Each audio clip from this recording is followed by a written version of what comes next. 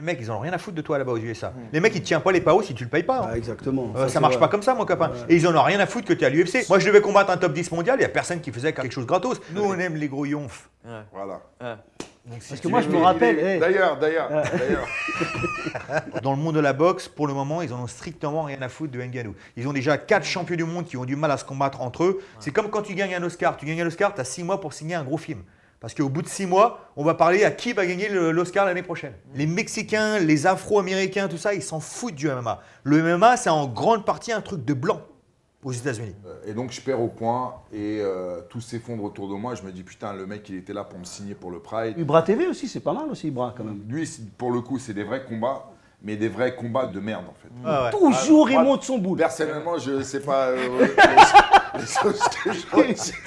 Déjà, tu as des Yakuza. Déjà, c'est une boîte de nuit du hip-hop. Tout le monde l'a joué gangster. Les Japonais qui se prenaient pour les rappeurs américains. Et les Japonais qui viennent chercher la merde parce qu'ils savent que si tu bagarre avec toi, ils appellent la police et c'est toi qui seras en tort, donc ils te demandent un bifton. Au Japon, tu que les bases américaines. L'armée de terre, l'armée de l'air, ils peuvent pas se blairer. Tu vois, et ils venaient tous dans cette boîte de nuit aussi, les Américains. Mon préféré de tous, c'est Alors- Fred Master. Alors pourquoi En fait, moi, j'ai toujours voulu faire du cinéma. Et donc, quand je montais sur le ring, je faisais du cinéma. Pour moi, c'était ma planche de théâtre.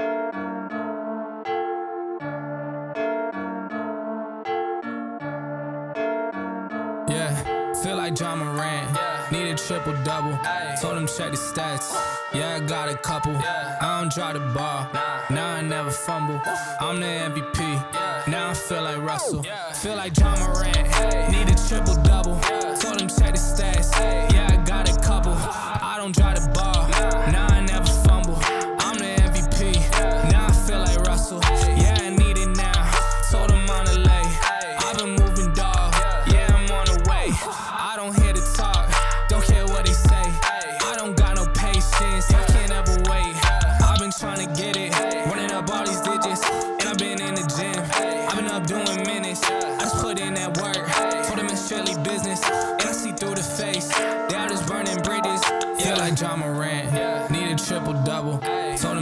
stats. Yeah, I got a couple. I don't draw the ball. Now I never fumble. I'm the MVP. Now I feel like Russell.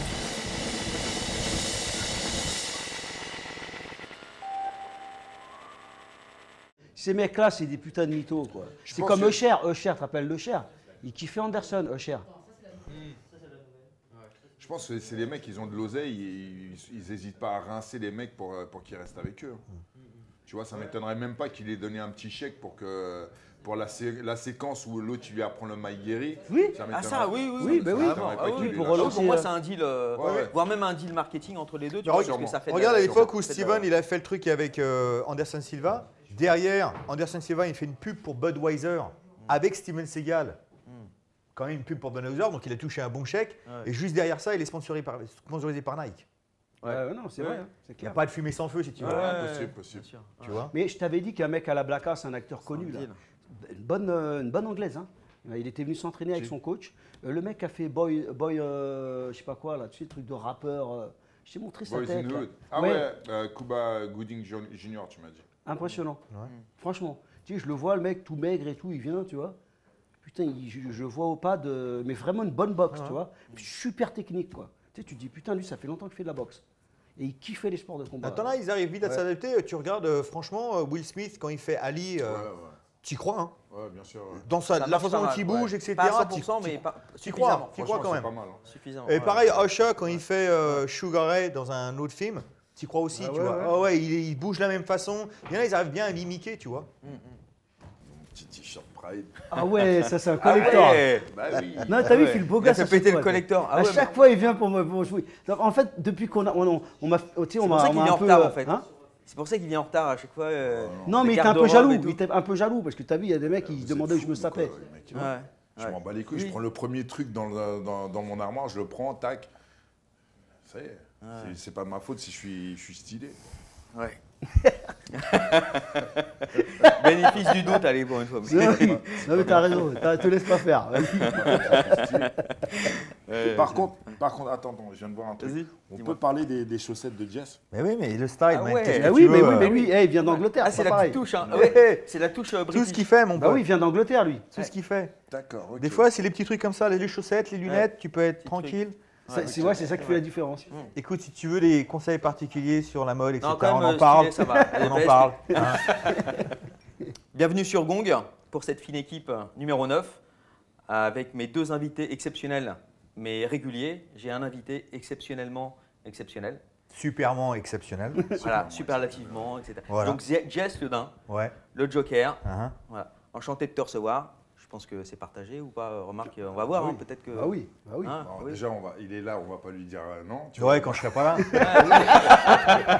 Moi, je me suis dit, écoute, les Forbans, là, ils sont bien gentils, euh, ils sont drôles, mais il faut quand même amener un, un peu de classe, un peu de dynamisme dans tout ça, tu vois. Un peu de charisme. Et voilà, mais je suis content qu'aujourd'hui, tu as mis un t-shirt et que tu as arrêté de mettre ta chemise trois fois trop courte. Ah voilà. Parce qu'il y a vraiment un problème avec tes chemises là. hein. C'est vrai, Quand on a un corps avec un, un buste de gorille et des bras de chimpanzé, si tu veux, il faut faire faire des chemises sur mesure.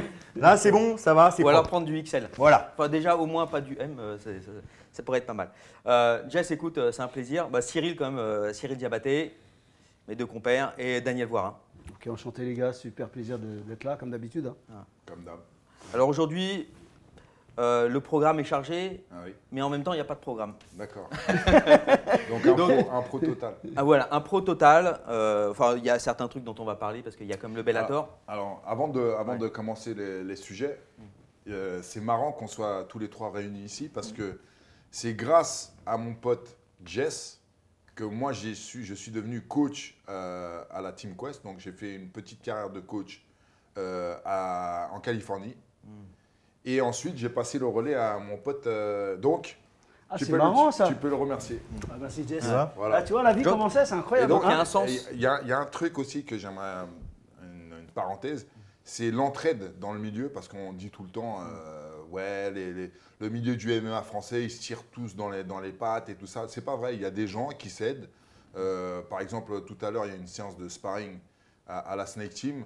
Il y a la Old School Academy qui vient euh, faire du sparring chez nous, euh, chose que j'ai fait avec euh, d'autres écoles françaises du même niveau, on va dire. Et non, il y a de l'entraide. Il y a de l'entraide. Il y a effectivement des gens qu'on n'aime pas du tout. Généralement, c'est toujours les mêmes. Et c'est toujours les mêmes. Mais sinon, je ne vais pas dire que le, MMA français n'est pas solidaire. Preuve en est, euh, 20 ans en arrière, Jess m'a aidé. J'ai aidé euh, Daniel par la suite. Et c'est, euh, enfin, il a, il a rien gagné en m'aidant, et moi j'ai rien gagné en aidant euh, Daniel. Mais ça faisait partie du, ça faisait partie du truc, et je pense que ça, se perdu- ça, ça perdure dans, dans le temps. C'est vrai. C'est vrai qu'on parle souvent du négatif, mais, mais Ouais. pas assez souvent du, du- des bienfaits, du positif et tout. Et alors, votre ren- rencontre, la première rencontre initiale, initiatique, euh, je sais pas. moi j'ai, déba- j'ai- débarqué à Londres avec une équipe française de, de MMA. Alors là, il faut, faut, faut transposer. On était en, je sais- pas moi, 2000. euh, 2000. deux- L'an 2000. L'an 2000. Ouais, ouais. Donc tu vois, il y a 23 piges. On débarque, en, on débarque au- en Angleterre avec une équipe de, de combattants français de chez moi et, euh, que j'entraînais. Et on doit affronter une équipe anglaise. Donc on débarque et tout, on a chacun notre, notre adversaire. Moi je combattais pas, j'étais là en, en tant que coach, donc j'ai mes élèves. Et euh, dans l'équipe des, des Anglais, il y a un petit Frenchie, c'est lui. Il vient me voir et tout, il traître. Eh, Cyril, ça va et tout, machin. Je dis, Bah, qu'est-ce qu'il raconte tu Qu'est-ce qu'il- Pourquoi il me parle français couramment et tout ça, machin Il est supposé être. euh, Et puis c'est là où il me, il me dit voilà, je suis, je suis français, mais j'habite en, en Angleterre et, et je vais vous affronter. Et puis super cool, on a, on a, toujours, on a tout de suite eu un, un feeling. Euh, il avait affronté euh, Moïse. Moïse, Moïse Rimbon. Ah ouais, ouais, solide, hein, Moïse. hein. Euh, très solide, Ouais. très solide. Et, euh, et puis après, on est resté en contact. D'accord. Et alors, Moïse, il était, lui, il était en 93 déjà, Ouais. là, il combattait. Oui, Toi, ouais. parce que alors. 93 Jess- aussi, c'est pour ça que c'est marrant. Ah. Aujourd'hui, j'ai des mecs qui me disent Mais putain, Lionel, t'es un peu boeuf quand même. Qu'est-ce qui se passe? Tu prends des vitamines? Je fais Mec, ça fait euh, plus de 25 ans que je fais 90 kilos, moi. Euh, c'est que je faisais du cutting par la suite. J'ai compris qu'on pouvait faire du cutting. Mais moi, quand j'ai commencé les combats en Angleterre, en fait, c'était plus de 85 ou moins de 85. C'était les seules catégories qui existaient. Donc, quand je suis passé pro, et ça, c'était mon premier combat pro, j'ai dit Bah, je vais combattre en 93, quoi. Bon, très très vite, je suis redescendu. J'ai compris Ouais, que c'était pas ma était trop- caté. Il était trop petit. Ouais, ouais. Bah, Parce que tu euh, pesais combien là, ce jour-là? Enfin, Je devais être dans les pas 91 kilos, quoi. un truc D'accord, ouais, t'étais- mais ouais. grassouillet, tu vois. Oui, pas, Ouais, t'avais euh, même pas cuté, quoi. Non, non, Euh, j'étais pas sec, j'étais. euh, voilà. Alors comme que je suis c'était un beau bébé à 93, tu vois. Ouais, ouais. Et lui, il tournait en lourd, il tournait en Ouais. lourd léger, euh, etc. ouais. Mais d'ailleurs, il y avait une, une histoire qui était m'est revenue dans les oreilles. Je sais plus si c'était toi ou Moïse qui m'avait dit que quand il m'avait vu, en fait, parce qu'à l'époque, moi, je me rasais la tête, tu vois. Euh, Il pensait que j'étais un skinhead. Juste pour resituer aussi, euh, toi, Jess, tu étais, étais un Français, tu étais presque franco-anglais déjà à l'époque. Tu avais quel âge? Et toi, tu es parti très vite en fait Ouais. euh, de, de France. hein. Moi, je suis parti euh, aux États-Unis à 19 ans et je suis arrivé au- en Angleterre à 21 ans, en fait. Et euh, ouais, non, non, mais moi, quand je les ai vus arriver, euh, voilà, suis dit, euh, c'est les Français, quoi. Qu'est-ce qui se passe, les copains et tout ça. Mais moi, mon coach, en plus, en, en Angleterre, était français. Fred Rado, qui est Ouais. aussi un vieux de la Ah vieille oui, du MMA. oui. Euh, donc, mon coach était aussi français là-bas en Angleterre. C'est lui-même l'organisateur de l'événement, tu vois. D'accord, c'est lui qui organisait. Et lui, il vient de la, bah, de la BF. Il vient de la. BF, euh, du judo, euh, etc. Voilà. Ah ouais, du judo, ouais. Ah non, Qui est d'ailleurs un- une figure de l'époque. hein. C'est un mec qui a fait énormément pour le MMA français Ouais. il y a 20 ans en arrière. Aujourd'hui, euh, il, a- il est reparti dans les oubliettes, personne ne se souvient de lui. Mm. Mais il faut savoir que tous les anciens euh, de l'époque, il y a 20 ans en arrière, ils le connaissent parce qu'il faisait, partie du- il faisait partie du paysage et que c'était un juste. des acteurs principaux. Tout juste, ouais. Et surtout la mentalité à la française, c'est-à-dire que quand il y avait les premiers événements en Angleterre, euh, dans les fins des années 90, c'était un peu, euh, voilà, on savait pas trop ce qui se passait, les catégories de poids changeaient régulièrement, etc. Et lui, Fred, qui vient de la France et qui a la mentalité à la française, a commencé à vouloir vraiment créer des catégories, euh, ne plus mélanger les amateurs aux professionnels. C'est lui qui a fait les premiers événements amateurs. Les les événements amateurs n'existaient pas en Angleterre, c'est lui qui les a mis en place en fait. Euh, donc il a commencé à créer tout le truc en français, donc en Angleterre là-bas. Au début du MMA, donc euh, au début du MMA européen, on va dire, parce que les États-Unis, ça a commencé avec l'UFC et ensuite il y a eu une, euh, ribambelle d'organisations aux États-Unis. Euh, en, Europe, il ne se passait pas grand-chose. On a mis du temps à se mettre en marche. Euh, les premiers pays à organiser le MMA, c'était les Anglais. Et c'est vrai que tu avais des professionnels d'autres sports, par exemple des kickboxers ou des boxeurs ou même des judokas de haut niveau, qui se retrouvaient dans les tournois, de, enfin des, des combats de, de MMA, face à des mecs qui avaient euh, très, peu de, très peu de niveau et qui viennent de commencer, qui étaient complètement des, des amateurs. Et c'est vrai que euh, Rado, il a commencé à, à faire des, des- des tournois amateurs et, euh, et de classifier, de mieux classifier en tout cas les, les combattants. Et, euh, il a fait avancer les, les choses, c'est sûr. Il il a amené un certain une- professionnalisme parce que moi je me rappelle des premiers événements anglais qu'il y avait de MMA, on aurait cru que ça sortait d'un film euh, de Guy Ritchie quoi. C'était des gangsters accoudés comme ça euh, au truc, qui se balançaient des bières, des machins. Bon, à l'époque, ça vient d'une époque différente, mais tout le monde fumait à l'intérieur. Ouais, tu rentrais, tu avais de la fumée parce que c'était dans des pubs. Tu vois, moi j'ai vu où c'est que ça partait en sucette, que les mecs balançaient leurs chaises par-dessus le ring. Enfin voilà quoi. Genre, Donc lui, genre, euh, c'est ce que je disais la dernière fois, c'est ce qu'on a vécu quand on débarquait à Perfleet, par exemple, euh, zone industrielle un peu de, Londres, tu vois, un peu, un peu roughneck, un peu, euh, tu vois, le- les bas quartiers, tu vois, on va dire. Et on se retrouvait dans une taverne et qu'on on, traversait la, foule, tu vois, j'a- j'amenais mes, mes combattants au ring et il y avait une foule hostile qui nous touchait, qui nous, attrip- qui nous agrippait, qui nous lançait des, mégots de cigarettes et des, cacahuètes, tu vois. Et après, on montait, le mec montait sur le ring et comme c'était bas de plafond, il y avait un nuage de, de fumée juste en dessous du, du plafond et le mec, il avait, il avait sa tête presque dans le nuage de, fumée, tu vois. C'était un truc, un truc euh, de ouf. Et à côté des lampes, tu devais esquiver. Donc les- on est vraiment loin de, on est vraiment loin de ce qu'on voit aujourd'hui dans le MMA euh, aujourd'hui, tu vois. Et, et à l'époque, euh, bah, Jess y a fait partie de cette, cette aventure-là aussi parce qu'il était, il était combattant déjà là-bas. Mais euh, à l'époque, les Français qui partaient, parce qu'il n'y avait pas de MMA en France. Quand on faisait du MMA, c'est tu vas t'entraîner dans tel club de, de jiu-jitsu traditionnel ou euh, de jiu-jitsu brésilien si tu en trouvais un, parce qu'il y en avait deux en France, tu vois. Tu faisais, euh, tu faisais pas de lutte parce qu'on ne faisait pas de lutte. Tu faisais du pied-point, voilà. Et avec ça, avec on faisait un méli-mélo, tu vois, un espèce de pot pourri de tout ça. Et on, on partait se taper avec des mecs. Et c'était la loterie. Tu, tu pouvais tomber sur un mec qui, était, t'as- qui avait ton niveau, ou tu pouvais tomber sur un mec euh, qui sortait de, de, de quatre combats en, en, en Angleterre, en- aux États-Unis, euh, qui était un vrai combattant de MMA, tu vois. Et puis les mecs mentaient parfois. Moi, je me rappelle, on s'était retrouvé la deuxième fois dans le premier événement en cage en Angleterre. Ah, au Cage Wars, là. Voilà, le Cage War, donc Ouais, la première Wars, événement, parce qu'avant les événements de MMA faisaient sur un ring, là c'était le premier en cage, Ouais. et on était euh, tous les deux, on combattait sur la, sur la même carte aussi. C'est celui-là où tu avais Pelé, non euh, Non, il n'y avait pas Pelé, Pelé c'était sur un autre truc après, après, par la suite. Voilà. Ouais. Et euh, moi je me rappelle que je vais combattre justement un Anglais avec a priori euh, 300 combats de rue et, et des titres à non plus finir en boxe, euh, naked, euh, à main nue, tout ce qui s'ensuit. Et le jour euh, de la pesée, il commence à dire à mon coach euh, T'es sûr que ton élève il a le niveau pour me combattre Je voyais qu'il commençait à chier dans sa culotte. Et le jour J, il n'était pas là, il a disparu. Le mec, euh, il était tombé malade, il a eu une gastro. Donc ils m'ont trouvé, un, ils m'ont trouvé un lutteur américain qui était là. Et les mecs m'ont dit Bon, tu vas combattre ce lutteur américain. euh. Mais en fait, non, ils m'ont pas dit que c'est un lutteur, en fait, ils m'ont dit que c'est un mec du taekwondo. Ils m'ont dit c'est un acteur qui fait du taekwondo. euh, si tu veux, tu peux quand même combattre et faire un, combat euh, exhibition. Ouais. moi, je lui dis bon, c'est le premier truc en cage. J'aimerais bien quand même rentrer dans une cage, combattre dans une cage. Que j'aimais- Je suis allé, d'accord, je fais un combat exhibition. Et en fait, c'est-à-dire, c'était pas du tout un mec du taekwondo, c'était un lutteur. Et l'autre, il faisait que de m'amener au sol, etc. Donc c'était une galère. Moi aussi, pareil, j'ai rencontré euh, au cage. Déjà, faut, euh, petite note, la cage, elle faisait vraiment, euh, je sais pas, deux cette pièce, deux, quoi. Ouais. Non, c'était Ouais. incroyable. Donc, Ouais. moi qui étais striker et qui voulais surtout pas aller au sol, Mm. surtout pas aller au contact et rester loin de mon adversaire, euh, je me retrouve avec une cage, euh, je fais un pas en avant, je suis dans la gueule du mec et c'est un lutteur en face de moi, tu vois, qui faisait, euh, je sais pas moi, 107, 107 kilos, il me semble, un truc comme ça, et qui m'a amené, pareil, il m'a amené au sol, tac, il m'a amené au sol, il me frottait la tête avec sa barbe, euh, il, il essayait de faire, de faire du ground and pound et ça a été ça pendant tout le combat. Donc je perds mon, un de mes premiers combats en, en MMA euh, au point. Euh, très mauvaise, très mauvaise expérience parce que bon, l'organisation euh, moisie au pas possible et puis la cage surtout qui me laissait pas m'exprimer, vois, ouais, c'était- ouais. incroyable. Je me rappelle d'ailleurs à l'époque où il y avait eu un événement en Angleterre où ils avaient fait venir, je crois, justement Moïse et d'autres combattants. Et après l'événement, ils les avaient laissés comme ça, sans les emmener à l'hôtel, etc. Ouais, ouais. Et ils avaient dormi dans le hall où ils avaient combattu. Et ils essayaient de récupérer de la bouffe qui restait comme ça à ah, droite ça à gauche. nous, ça, ça doit être nous. Bah, ça, ça ressemble aux expériences Ouais. qu'on avait, tu vois. T'avais- Et donc C'était à l'arrache, quoi. Ouais, c'était à l'arrache.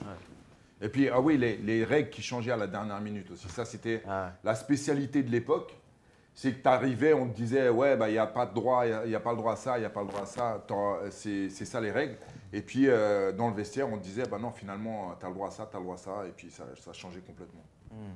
Ouais, ouais c'était euh, petit bonheur, la chance ou la malchance. je me rappelle qu'on s'échauffait dans la même pièce parfois que nos Oui, adversaires. oui, ça, c'était normal. Ouais. T'as L'adversaire qui, qui allait combattre, il était juste là face à toi en train de s'échauffer. Ouais. Tu voyais en Thaïlande, t'as ça aussi, hein, Ouais, tu sais, euh, Ouais. Ouais. Non, c'est une autre époque. hein. Ouais. Comme je disais hier dans un, dans un truc, euh, on, a, on a vécu vraiment une, une époque. Alors, j'aurais effectivement aimé connaître cette époque-là qu'on qu'on connaît aujourd'hui avec la médiatisation, la reconnaissance. Euh, mon alter ego euh, aujourd'hui, il est, il est connu, il gagne bien sa vie, euh, il n'y a, il y a- il y a pas de problème, machin. Mais il a un chemin plus tracé, il a Il a moins d'histoire, il y a moins d'aventures, Voilà, moins de, exactement. Nous, on moins a, de surprises, moins de on a connu euh, une époque euh, d'aventure où. euh, Une époque préhistorique. Non, mais la médiatisation, c'est à double tranchant. On le voit. En euh, plus. Oui, Il y en a, ils sont à peine Ça- 2 ça- peut te combats. briser les- euh, les ailes, déjà euh, le- trop vite, hein. bien sûr. Et pour moi, c'est ça qui a commencé à créer, je pense, une fraction en France, en tous les cas. C'est lorsqu'il a commencé, et c'est mon, point de vue, j'ai peut-être tort, hein, mais lorsqu'il a commencé à y avoir des médias, des médias français, Five Sport, pour le nommer, et là que les gens ont commencé à se tirer dans les pattes, mais pourquoi lui dans le magazine, pourquoi Ouais, voilà, pas moi, etc. exactement ça, ouais. Et à partir de là, ça a déjà commencé à créer des fictions entre les Français, parce qu'à l'époque, tu avais fait la French Connection, il y avait un truc qui commençait à se créer entre les Français, et quand les médias ont commencé à sortir, et qu'il y a eu des potins, des machins, ouais, non mais l'autre, il joue aux cartes le soir avec le coach de machin, Ouais. ça a commencé à, à créer Justement, des très frictions. bon sujet, ouais, le- la Fight Sport, la French Connection, Ouais. la BTT d'origine, la Brazilian Top Team, la Oula, French. il y, en a, ouais. il y en a des choses à dire C'était là-dessus. pas European Eh. Top Team, il y avait. c'était Non, French la- Top Team. non, non, c'était euh, la Brazilian Top Team euh, en France. Quoi, à- ouais, à la Paris. version française. Alors moi, comment j'ai vécu le truc Ah. bah, euh, J'étais... euh, j'étais euh, L'origine de la French Connection, déjà, j'étais chez euh, Kamel Kimli, qui est, un, qui est un pote à moi, un journaliste qui bosse encore dans, dans le milieu des sports de combat. Euh, et on était chez lui et c'est, il se débrouillait toujours pour avoir les, les imports de- des combats de- de- du Pride et de l'UFC. Donc moi, c'était avant, avant qu'on puisse euh, l'acheter, les acheter en France. Ouais. Et donc j'allais tout le temps chez lui voir les trucs, euh, voir les Pride euh, quasiment en, en live des fois, tu vois. Et euh, on voyait tout le temps les mêmes, les mêmes mecs arriver avec une, une vraie équipe derrière eux. Et je me disais, on se disait, ah, putain, c'est c'est vrai que le MMA, on- comparé à la boxe, c'est un vrai sport d'équipe. Tu vois, tu es, obligé d'avoir une équipe derrière toi parce qu'il y a tellement d'éléments différents qui, euh, qui, qui- qui- qui composent le MMA que tu as besoin de plus de, de- styles différents avec toi pour te, pour te perfectionner. Et donc, on, se dit, ouais, il faudrait qu'on ait un- une équipe comme ça. Et je regardais la, la shootbox ou la BTT, tu vois, toutes les grosses équipes du Pride. Et euh, on se disait, il faut- faudrait qu'on fasse ça. Et donc, euh, la semaine d'après, je contacte les différents médias que je connaissais, tu vois, les, différents magazines. Et je dis, voilà, je vais, faire une, une journée détection, une journée de sélection euh, pour euh, toutes les équipes, enfin tous les combattants français de haut niveau. On va essayer de, tous se regrouper sous une même bannière, s'entraîner ensemble et progresser ensemble. Et d'être managé par, par Greg qui- que je connaissais de l'époque. Et, euh, et donc les médias relaient le truc et euh, le jour de la sélection arrive et je sais pas, on est peut-être une quarantaine de, combattants qui, se retrouvent au Cajun Club à Bastille pour une journée de, voilà, détection, de sélection. Euh, le Banner, Jérôme Le Banner, il avait vu dans, un magazine que je faisais cette journée-là. Il m'appelle, il me dit, il me dit ouais, ça, m'intéresse de, de venir à ton truc. En plus, je peux te donner de la force et tout. Je dis, ah, c'est cool et tout. Bah, vas-y, viens. On fait la journée sélection. Euh, Il y a plein de mecs, euh, plein de mecs de l'époque qui, se- qui, qui- qui sont là. Il y a les frères Icho. Enfin, je ne pouvais pas tous les, les énumérer, mais il y, a, il y a pas mal de mecs connus de l'époque. Et on fait la journée sélection. Donc, euh, donc, euh, qu'est-ce qui se passe? On fait, on fait des, euh, je donne des thèmes techniques et je, re- je regarde un petit peu le, le niveau technique euh, dans l'ensemble, tu vois, que ce soit pied-point, lutte, amener au sol. Et puis après, il y a du sparring à la fin. D'accord? Et on est là et tout, et je donne, euh, j'ai donné des feuilles pour les, pour les mecs pour qu'ils puissent les remplir et tout ça, me donner leurs informations et tout ça. Et moi, je, donne mes- je prends mes, notes. Je vois les mecs qui, sont, euh, qui, sont, euh, qui ont du, potentiel et je note des trucs. Jérôme Le Banner, il fait le, il fait le tour de, son, de, la salle et je vois, il parle avec deux, trois mecs et tout ça, machin. Je calcule pas trop. La semaine d'après, j'appelle les mecs que j'ai sélectionnés. Et je dis, euh, ouais, bah alors, euh, voilà, par rapport à la sélection, euh, voilà, on t'a retenu et tout ça, machin, pour faire, pour faire partie de l'équipe. euh, on est content de t'avoir. Et, et deux, trois, enfin, non, plus que deux, trois mecs, je crois, trois, quatre mecs, qui me disent, ouais, non, finalement, c'est sympa, Cyril, mais finalement, je vais rejoindre l'équipe de Jérôme.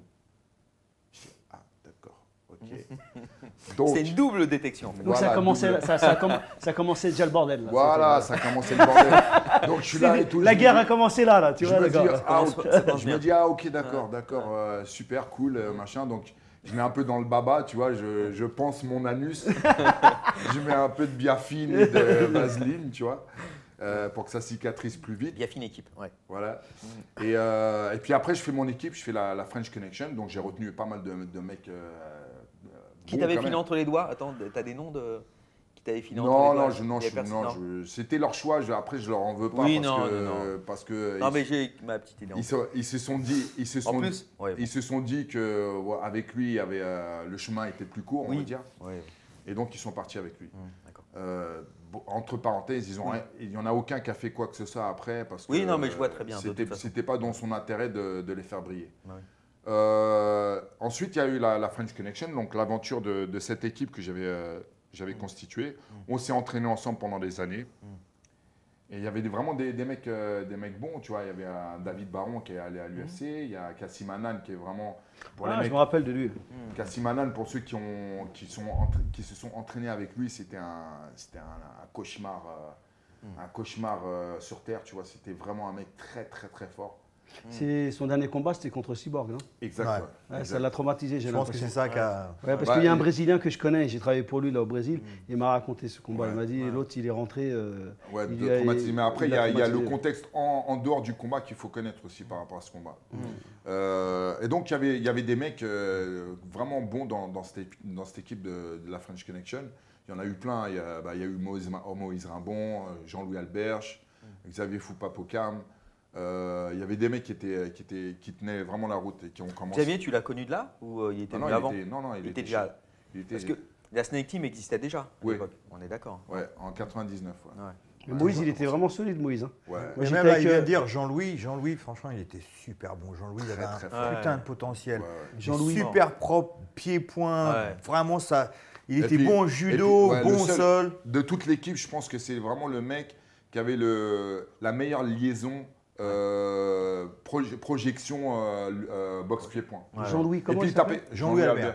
Et il tapait vraiment fort. C'était un gaucher qui tapait vraiment fort. Il pouvait faire des enchaînements. euh, Et on parlait de mec volontaire, c'était un gros guerrier en plus. Ouais, Ouais, puis ouais, super ouais. physique en plus, a- très, ouais, vraiment ouais, athlétique, ouais. tu Ouais, vois, ouais. etc. Et Il avait combattu Sakurai dans Ouais. les règles françaises de trucs. Et sincèrement, il avait, je crois, un, c'était, il avait perdu, mais il y avait une revanche, je crois, c'était ça. ouais, il devait Et qui était plutôt litigieuse, où Ouais. on aurait Ouais, pu lui donner. solide, euh, Sakurai. hein. Ouais, était solide. Non, c'est c'est le bah, Sakurai qui était euh, le numéro un de la catégorie, Ouais. toute, caté- enfin, toute euh, organisation confondue. Mm. Et euh, Jean-Louis a, a tenu tête et même lui a rentré dedans et c'était euh, bref. Ouais. Et donc on fait euh, la, la French Connection. Mm.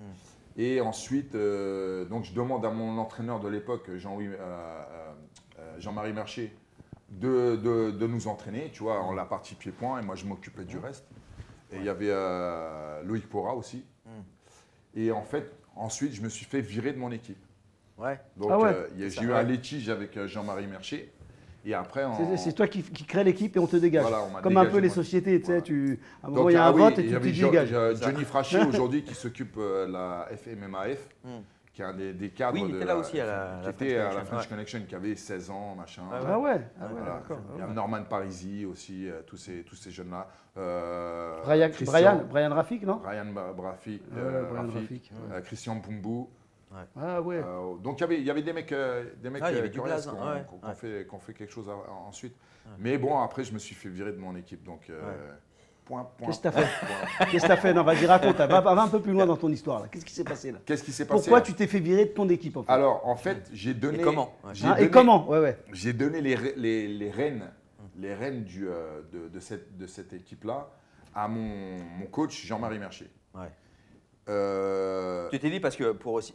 T'étais combattant aussi à l'époque. J'étais Donc tu t'es combattant, dit, bien tu peux sûr. pas tout gérer. euh, tu- tu- Voilà, exactement. Moi, j'avais pas envie, j'avais pas envie de- de- d'avoir la casquette et de, de créateur de l'équipe, et de coach de l'équipe, et de manager de l'équipe. Ouais, ouais, c'est Donc, tout. j'avais j'avais Bah trop de casquettes déjà, déjà par rapport à la Snake Team.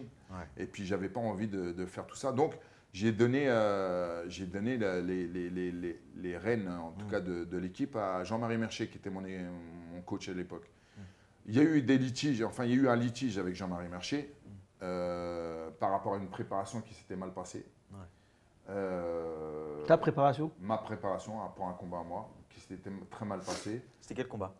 C'était un combat euh, qui était initialement prévu contre Alistair Overeem en, en Hollande.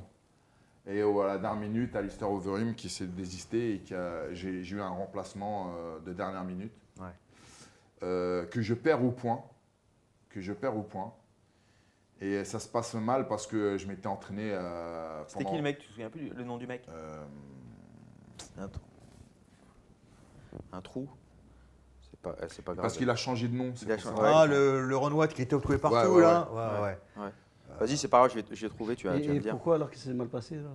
Bah, je, perds, je perds au point parce qu'à un moment donné, à la fin du, enfin, la fin du premier, j'ai plus, de, j'ai, plus de, j'ai plus de cardio du tout. Alors que ça fait trois mois que je m'entraîne comme un chien, tu vois. Et euh, je comprenais pas pourquoi. Et en fait, euh, j'ai fait un surentraînement. Euh, Ah, ça, c'est fatal. j'ai, j'ai- j'ai été cramé en fait. Ouais. C'était en quelle année? Euh, 2000, euh, je dirais 2004, un truc comme ça. 2004, 2004, 2005 ouais. peut-être. Ouais. Et donc ça se passe mal. Et puis après, je, je vois mon. Rodney Glunder? Hein? Rodney Ouais, c'est ça. Ouais, Voilà. Qui s'appelait, euh, je sais plus comment avant. Ouais. Bref. ouais. Au tout Handle. euh, Voilà, ouais, exactement. Ouais. Et donc, mais, euh, mais un mec, un mec super expérimenté. Pareil, en hollandais, les mecs qui ont déjà. Mm. Déjà à l'époque, il devait avoir au moins facilement 40 combats ou un truc comme ça. ouais, des- c'est un mec du pied-point, donc Ouais. il y a une centaine combattent de, dans toutes les ça, disciplines. de combats. En Ouais. MMA, il avait je sais pas combien de combats. Ouais, ouais. Et, euh, et je perds au point ce mec-là, mais qui était largement à ma portée. D'ailleurs, je le mets, euh, je le mets sur le cul dès, le- dès- dès les, premiers, les, les premières minutes du, du combat. Je, le- je, je- je passe à, à rien du tout de le mettre KO. Et puis après, euh, mon, mon cardio descend, mon- ma force, tout, tout descend et je perds le combat au point. Et je comprends pas pourquoi, parce que je m'étais entraîné comme jamais, parce que c'était un titre, premièrement c'était un titre mondial, deuxièmement parce que euh, il y avait euh, le numéro 2 du Pride qui était venu signer des nouvelles, euh, des nouvelles recrues. Et je sais qu'ils m'avaient parlé avant et je sais qu'ils ils étaient intéressés par moi. Donc j'ai vraiment tout à gagner. C'est pas un gars là où tu avais eu euh, Tchèque Congo qui combattait aussi, non? Pas euh, Je pense pas. Non, c'est c'était un autre, mais tu avais. Ouais. Ouais, je pense, je Ouais. pense pas, mais c'est possible. Mhm. Et, donc, euh, et donc, je perds au point et euh, tout s'effondre autour de moi. Je me dis, putain, le mec, il était là pour me signer pour le Pride. Mhm. Et je passe à côté, je suis vraiment qu'une merde et tout ça. Et je comprends pas pourquoi j'ai j'ai- pas de conditions physiques alors que je me suis jamais entraîné comme ça. Et en fait, euh, voilà, je comprends que j'ai eu un surentraînement et que j'étais euh, cramé, laisse tomber. J'en parle à mon, à mon coach, à Jean-Marie Mercier, paix à son âme. Et, euh, et euh, il le prend très mal. Il le prend très très mal et euh, ça se passe très mal. Et euh, finalement, il, finit par me virer euh, de, de la salle. Ah ouais. Ah ouais, c'est chaud là. il me vire, il me vire de la salle. Mais j'étais quand même, euh, j'avais quand même la, la French Connection, Oui. dont, dont- dont lui était le, le coach. Ah ouais. Et en fait, euh, il m'a fait virer de. Ah ouais, il a fait un coup double en fait. Et c'était quelle année ça Putain. environ? C'était. euh, Bah, c'était 2004 ouais. euh, Le 2000 combat. ouais, Le combat, ouais, 2004, il est référencé Voilà, 2004. Parce que Ouais. c'est à toutes ces années-là qu'il y a eu plein d'autres choses. Il y a eu le truc aussi avec Grégory euh, et Amoussou, Ouais. avec Ah, Sport. Ouais. Il y avait. Ah, tu te euh, souviens de ça, toi Je me souviens de ça, Ah bah ouais. les dossiers qu'il y avait à l'époque qui Ouais. tournaient, euh, Ouais, il y avait quand même pas mal d'articles plutôt croustillants à l'époque. Euh, et euh, il y a eu aussi le- la BTT, avec- il y a eu du drama aussi avec Ouais, ça, ouais. la BTT France et Ouais, tout ce qui s'ensuit. Euh, Bah, la French Connection, on s'entraînait à la BTT France. mais il y a un moment, il y avait des conflits aussi, même dans la BTT elle-même. Euh, en la même période, il y a eu aussi des soi-disant euh, possibilités de certains combattants d'aller combattre au Pride et certains se tiraient dans les pattes, Exact, exactement. Et juste pour couronner le tout, il y a eu cette espèce d'article dans Fight Sport où il y avait la fameuse Ah équipe de France. Euh, parce qu'il y avait une Coupe du Monde, je crois, c'est comme ça, équipe de France de MMA, où alors là, il y en a, ils étaient super énervés. quoi. C'était supposé être les meilleurs représentants du MMA français, et donc c'était copinage et compagnie. Ah. alors là, je pense qu'il y a eu une accumulation de trucs les uns sur les fait- autres, et à ce moment-là, ça a pété. quoi. 11 Il y avait Ouais, c'est vrai 11 que- combattants, donc 11 combattants euh, français qui représentaient l'équipe française. Ah, non, c'était Warriors 22 ou. Je sais plus. Bon, bref. Mais il y avait beaucoup. C'était pour le, ça c'était pour le Cage Warriors euh, Non, enfin, non, non, non, où- rien à voir. Ils, non, avaient, ils fait un article, Ouais. genre la Dream Team Mais- française. Ah oui. La Dream Team française. Donc ils avaient pris une la, la photo de l'équipe de France de foot avec le maillot bleu et tout ça. Et ils avaient fait un Photoshop moisi en plus. Ils avaient mis la tête, de, la tête des combattants français euh, sur la place des, des, Ouais, des. Et donc ils avaient fait soi-disant un sondage Si. auprès des- du public français pour savoir euh, qui, euh, qui devait faire partie Si je le de cette retrouve, je le mettrai en post-prod, ça on verra. Et euh, et il y avait ni moi ni Xavier Foupapokam alors qu'on était euh, à l'é- à l'é- à l'époque on était ceux qui, euh, Mhm. qui cartonnaient euh, qui cartonnaient le plus à l'étranger tu vois. Ah, ça, ça fait mal. Ouais, donc Ça, euh, on a compris que Ça, ça m'est arrivé au Brésil avec euh, une équipe, je ne vais pas la citer parce que des fois les gens, ils, après, ils peuvent rapporter. Une Ouais. équipe brésilienne que j'ai entraînée pendant des années. hein. Je les ai entraînés, le, le deal. Le deal, c'était. euh, parce que tu sais, pour t'imposer au Brésil, c'est pas évident, tu vois. Le deal, c'est que je les entraînais, Mm. tu vois. Ils n'avaient pas trop de bah, pas trop d'argent, c'était des mecs des favelas. Et en gros, quand ils commençaient à gagner, ils me donnaient de l'argent et au moins, ils me donnaient de la notoriété. Ouais. C'est ça que je voulais, quoi. Faire un nom, quoi, dans le business. Et un jour, ils ont fait un grand tournoi en Angleterre. Et euh, ils ont, ils ont il y en a un qui a gagné le tournoi. Ah, ben c'était, en plus, c'était incroyable comment il a pu gagner. Il a gagné une grosse somme. C'est sorti photo, tout. Putain, quand j'ai vu le, le- le- magazine, ça fait mal. Je suis rentré chez moi, j'avais envie de pleurer. Je vois le magazine, ils sont tous là. Les mecs, je les ai entraînés pendant je sais pas combien de temps. Je me suis buté. hein. Tu vois tous en photo. Et le, le prof de pied-point, ils mettent un autre mec. C'est même pas moi. Tu, sais, vois, le mec, il a rien à voir. tu sais. Alors voilà l'équipe et tout qui a gagné le tournoi avec la Avec- ceinture. avec il y le avait Matt Tyson. Et Avec Matt en Angleterre, et Oui, Matt oui, Tyson Ah oui, bah, on, était là nous. Mais oui, mais. euh, Il y avait ouais. Greg Bou Il y avait je- Bouchlagem. je Oui. coachais, Greg, bah, bah, justement. Ouais. Et euh, ces gars-là, ils ont gagné, euh, laisse tomber. Ils étaient là, et tu sais, tu sais, toi, tu n'as pas gagné de thunes. Tu t'es dépouillé. tu dis, je veux un minimum de notoriété. Tu regardes, tu vois pas ta tête, tu rentres chez moi, j'étais comme ça. Je dis, putain, c'est vrai que ça fait mal. Euh, je Ah, bah, reconnais que ça crée je des tensions. vécu- Ça crée Franchement, des je tensions. vécu comme hein. un, un double viol ça. Ah ouais, ouais, ça Ouais. crée des tensions. Ah ouais. Euh, bah, l'é- L'épisode avec le banner où je me fais bien truquer. Ouais. Et puis après, euh, je me Et fais après, virer de mon équipe que j'ai créée. Ouais. Ah, franchement, double, double sodomie euh, pour pas grand chose, quoi, tu vois. Ouais. Comme quoi, les médias, tu vois, on, on parle. Oui. Enfin, je vous entends parler parfois des réseaux sociaux et de, de ce qui se passe, l'influence que ça peut avoir au, au niveau des personnes, Ouais, ouais. euh, la- le positif, le négatif. Ouais. Et comme quoi, tu as vu, aussitôt que la merde a commencé dans les MMA, c'est aussitôt Non, que les clair. médias Ouais. sont commencés à arriver. Où c'est que tout le monde se tirait la bourre, Bah plus oui. toi que moi. Parce que la moi, à l'époque, ils ouais. m'ignoraient. Vu que j'étais en Angleterre, Ouais. genre, j'existais pas, ou en tous les cas, ils faisaient semblant que j'existais pas. Mm. Je me rappelle, à l'époque, j'avais battu euh, Ross Mason, Ouais. qui était un mec dur au mal, euh, en main event du Cage Rage. Mm. Et il n'y avait pas une ligne dans Fight Sport, mais il Ouais. parlait d'un gars qui avait combattu son voisin, voisin de palier euh, Ouais. en Europe de l'Est. Oui, Donc j'étais OK. Mais attends, mon copain, ce qu'ils n'ont pas vu venir, c'est quand moi j'ai co- j'étais signé à l'UFC. Mm. Alors là, c'est tous les mecs qui sont venus me bouffer le cul. Alors là, ça cognait à ma porte d'hôtel. Ouais, Hey. Jess, ça va bien euh. Mm, Attention, ils ont leur revanche. hein. Le jour où je me suis fait virer de l'UFC, les enculés ils m'ont fait une double page. hein. Ah ouais Ils ont fait en forme, pas en forme. J'étais euh, pas en forme. Jess Yoda se fait virer de l'UFC. Et la page juste en face, tout un article pour me casser du sucre sur le dos en disant euh, il s'est fait virer. Donc voilà, ils ont eu leur revanche d'une certaine manière. Non, mais c'est vrai que les médias, par rapport à ça, et même entre le rapport, pour le rapport euh, coach euh, et combattant, hein, parce que les médias, ils, C'est la à- zizanie souvent. Oui, ouais, mais le, seul fait de mettre le mec trop en avant sur un piédestal, le combattant, sa tête elle commence puis- à gonfler, le mec, il, après, il te calcule même plus. Le mélange des genres euh, aussi. hein Le mélange des genres, bah, tu l'as vu avec Fight Sport justement. Ouais. Tu avais le, dans les locaux, euh, la BTT France, la Brazilian Top Team France, c'était dans les locaux de Fight Sport, qui aussi euh, vendait, c'était l'éditeur des DVD ça, du hein. Pride. Hot, hot vidéo aussi. Ah oui. Oui, Hot Vidéo, parce Ouais. que euh, bah, c'était euh, Marchès, Ouais. qui était l'ancien. euh, Rédacteur en du chef et directeur. Du MMA et du. le, voilà, euh, bon, il y a tous les ingrédients. quoi. Ouais, conflit Ouais. d'intérêt de Ouais, ouf, quoi, tu c'est vois. ça. Ouais, mais c'est comme Bah, ça. c'est ce hein. qu'on voit aussi souvent avec euh, des, qu'on peut revoir avec des organisations. hein. Le Cage Rage, c'était. euh, Ouais, c'était un peu. feu. Non, mais pour rebondir sur ce que tu dis, moi je me rappelle, vous vous rappelez de Mohamed Kacha? Oui. J'ai regardé un combat à lui. Et euh, Mohamed Kacha, euh, il était venu s'entraîner à la Black House à l'époque euh, au Brésil. Mm. Euh, il était resté un petit temps. Et on l'avait booké sur un combat avec la Black House euh, contre un mec, un tueur. C'était, je sais plus comment il s'appelait le mec, enfin bref. Il a fait un main event au Brésil dans la ville du mec. Ouais. C'est-à-dire, il y avait la télé, télé brésilienne et tout.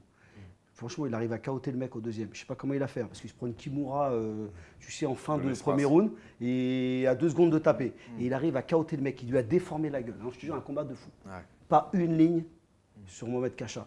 Alors, franchement, ce qu'il a fait, Ouais. c'était à- franchement, c'était incroyable, parce qu'il a pris un mec de très très haut niveau, Ouais. qui, qui était limite à signer à À, à l'UFC. l'époque, Fight Sport, faut savoir que c'était, comme il disait, c'était les, les Alors- copains d'abord. Ouais, ouais. Et ceux qu'on n'aime pas, bah, on n'en parle pas, tu vois. Oui, un peu de ça maintenant aussi, quand même, hein, euh, un peu moins. Tu parles de. RMC Sport Hein non, non, Ah non, bon, ça va, surtout ça pas. va, c'est bien, que tu aies- potes. c'est bien que tu aies parlé de Mohamed parce que pareil, c'est souvent que les gens, ils, ont, ils oublient par- parfois certains combattants qui n'ont pas eu une grande carrière, qui n'ont peut-être pas combattu à l'UFC ou qui n'ont peut-être pas eu énormément de combats et qui sont peut-être oubliés, tu vois. Donc on parlait de, de Jean-Louis un peu plus tôt. Ouais. Et, et Mohamed, c'est pareil, c'est aussi quelqu'un de Très, très, très super fort. talentueux. quoi. Ah, Il a incroyable. une, une patate, vraiment de la gouache. Ouais, ouais. Il essayait pas de taper fort, mais les mecs, il les mettait KO.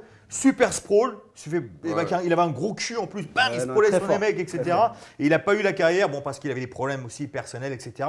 Mais pareil, un jeune homme super talentueux. Et en plus, moi, je te dis, je- à, l'époque, je s'entraînais à la salle, là, à la Gym, à la Black House. Et je ne donnerai pas de nom, mais euh, il a tartiné un plein de mecs en anglaise. Des mecs super connus, des stars.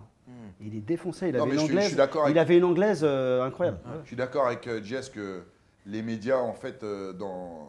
ils ont fait énormément de bien pour le, pour le sport, sur- surtout récemment.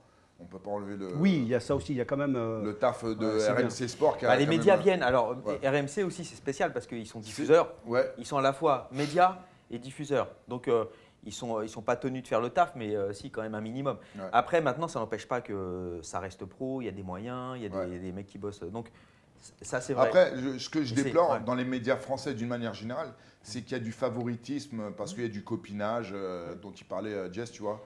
Mais- Ça, c'est ça, c'est relou. ça, c'est des problèmes euh, humains. en fait, Non, mais je t'assure, ouais. euh, même, des- eh, même, même au Brésil, j'habite au Brésil, c'était Ouais. pareil. Même aux États-Unis, c'est lumière, pareil. C'est l'argent et la lumière. Voilà, exactement. façon, Des fois, il- Ouais.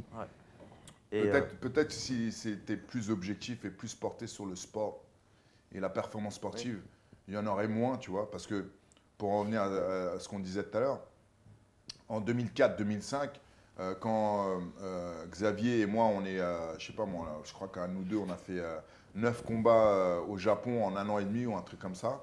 Et on fait 8 victoires, 7 avant la limite ou un truc comme ça.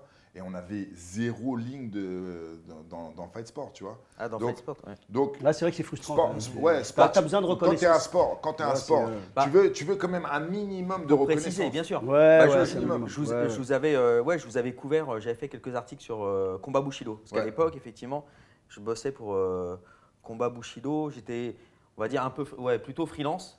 Mais, je, mais je bossais pas mal. Il y en avait, il y en avait, en pas Et- beaucoup, je veux dire, des, des- des Non. médias déjà à l'époque. Il n'y avait qui- pas beaucoup de médias, il y avait à peu près aucun journaliste. Ouais. Et, euh, et de toute façon, et euh, à Fight Sport, il avant de lancer le magazine, il m'a- il m'avait contacté. Donc il voulait que je m'occupe euh, du, Ouais. du magazine.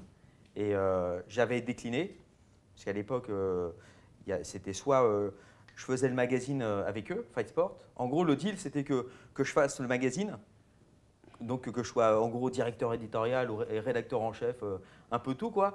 Et, euh, et j'ai pas ce titre par contre. Hmm. Tu vois, c'est pas moi qui devais avoir ce titre. D'accord. Tu T'imagines Oui, oui. qui devait avoir ce titre? Oui, oui, bien sûr. Le, le seul, euh, Bertrand seul, Amoussou. seul vainqueur du Pride de, l'histoire de. Voilà, de l'histoire de l'humanité. Moi, je me Enfin, rappelle de, l'humanité de- française. Ouais. Euh, Fred, toi, c'est quand qu'on s'est connus? C'est Et- quand j'étais revenu du Brésil, je t'avais contacté. euh, Ouais, c'était à peu près. euh, c'était, euh, c'était plus tard. C'était un peu plus tard. Mais J'avais contacté deux, euh, deux magazines. Tu vois, parce qu'à l'époque, j'entraînais une équipe professionnelle. Bon, j'habitais au Brésil et j'ai contacté deux magazines.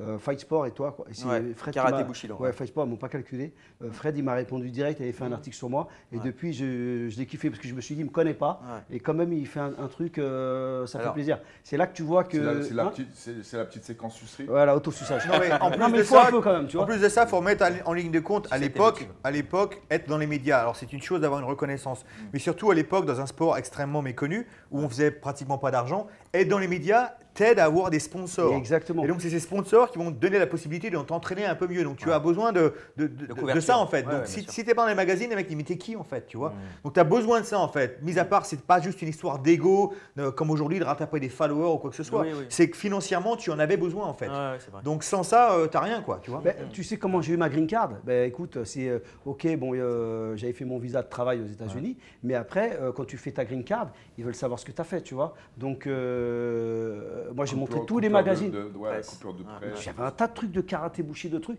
Tu montres les coupures, les, les coupures de presse. C'est grâce à ça que tu arrives justement. Pareil pour les stages en tant que coach, tu as une reconnaissance, donc tu arrives à faire des stages. Mais c'est vrai, c'est le côté aussi euh, financier, tu vois. Tu as besoin de cette reconnaissance. Mais tu vois, encore aujourd'hui, moi, si je veux travailler en tant qu'acteur ou cascadeur aux États-Unis, et il faut un visa, ils vont me dire, mais pourquoi lui? Euh, il y en a, On en a déjà plein des acteurs et des cascadeurs. Donc si tu amènes tout un tas de coupures de ça presse, fait la différence. ah ouais, non mais lui il est exceptionnel parce Ouais. que patin, couffin, bidule, tout est comme ça. Même aujourd'hui, regarde, tu veux être euh, affilié, avoir le truc bleu, euh, la pastille bleue sur Instagram, Mm. faut que tu leur donnes des coupures de presse pour savoir qui tu es exactement. Donc en fait, tout ça, tu en as besoin, peu importe ce que tu as fait derrière. En fait, les gens vont Ouais. pas faire des recherches. Tout ce qui est dans les médias, c'est extrêmement important. Et maintenant, encore plus que jamais. Mais en tous les cas, à l'époque, nous, la raison pour laquelle on voulait ça, c'est pour faire au moins 2-3 copecs pour s'acheter un paquet de pâtes euh, ou quoi que ce soit. Non, mais quoi, c'est clair. hein. Et Ouais.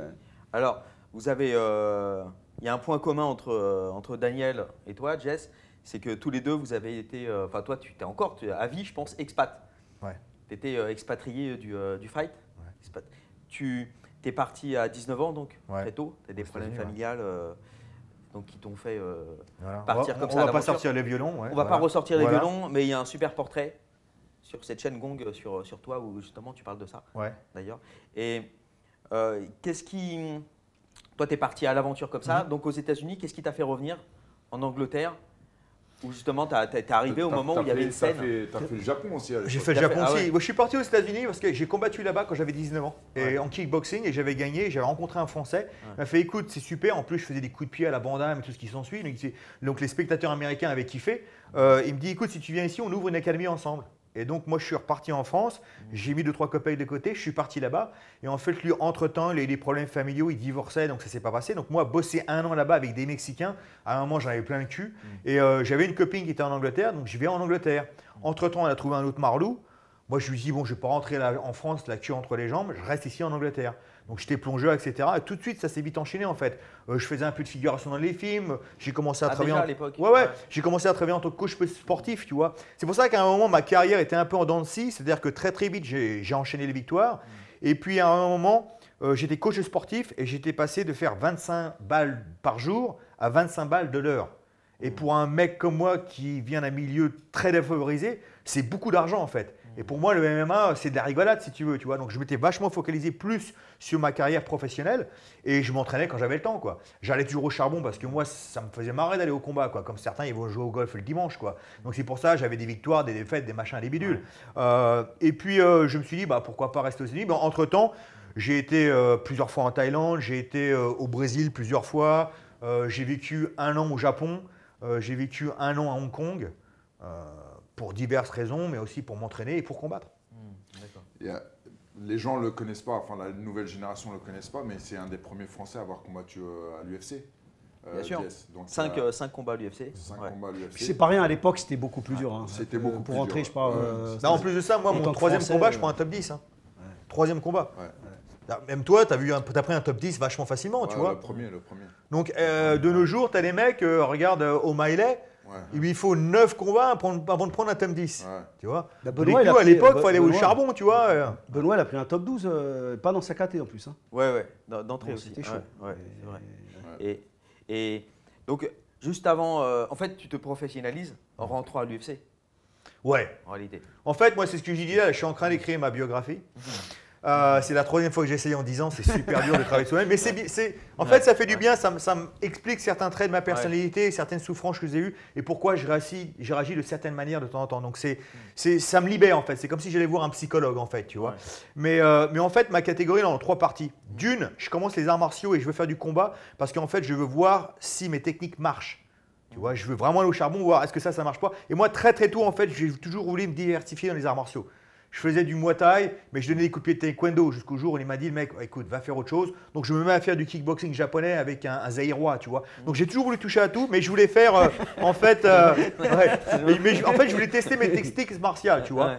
Et puis, il y a un moment, dans, un moment dans ma carrière où, en fait, je le fais, mais je le fais à la rigolade, en fait. Et en fait, moi, j'ai toujours voulu faire du cinéma. Et donc, quand je montais sur le ring, je faisais du cinéma. Pour moi, c'était ma planche de théâtre. Donc, ce qui m'intéressait plus, c'est de faire le show que de gagner, en fait. Tu vois, amuser les gens. Et je prenais pas ça au sérieux. Moi, j'ai jamais voulu devenir champion, en fait. Et puis, il y a la troisième phase où, à un moment, je fais un très mauvais combat au Japon. Et je me dis, bon, là, il faut plier les bagages, ou alors on le fait correctement. Et là, je me professionnalise.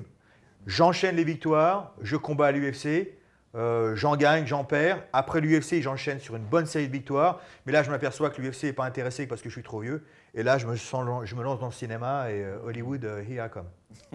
Parce que c'est vrai que tu arrêtes sur 5 victoires d'affilée. Six victoires. 6 victoires Commence pas à- C'est- assez rare d'arrêter T'es une pris carrière. pour qui. Grégory game, toi Donc, euh, calme-toi. Ah, on sent qu'il a un petit, euh, contentieux avec. Ah, euh, peut-être on va Euh, creuser Jean tout à l'heure, qui- ça va être intéressant. Greg MMA. J'ai rien contre lui, mais j'ai vu quand il a balancé deux, trois crottes de nez ici et là. euh, voilà. Donc Ah c'est pour ça que je dis ça. Ouais, ouais, ouais. Mais sur quoi? Il y a eu un truc sur le top 10 français, très sincèrement, j'en ai rien à branler des top 10 Ouais, français, tout ça, franchement, ça veut rien dire.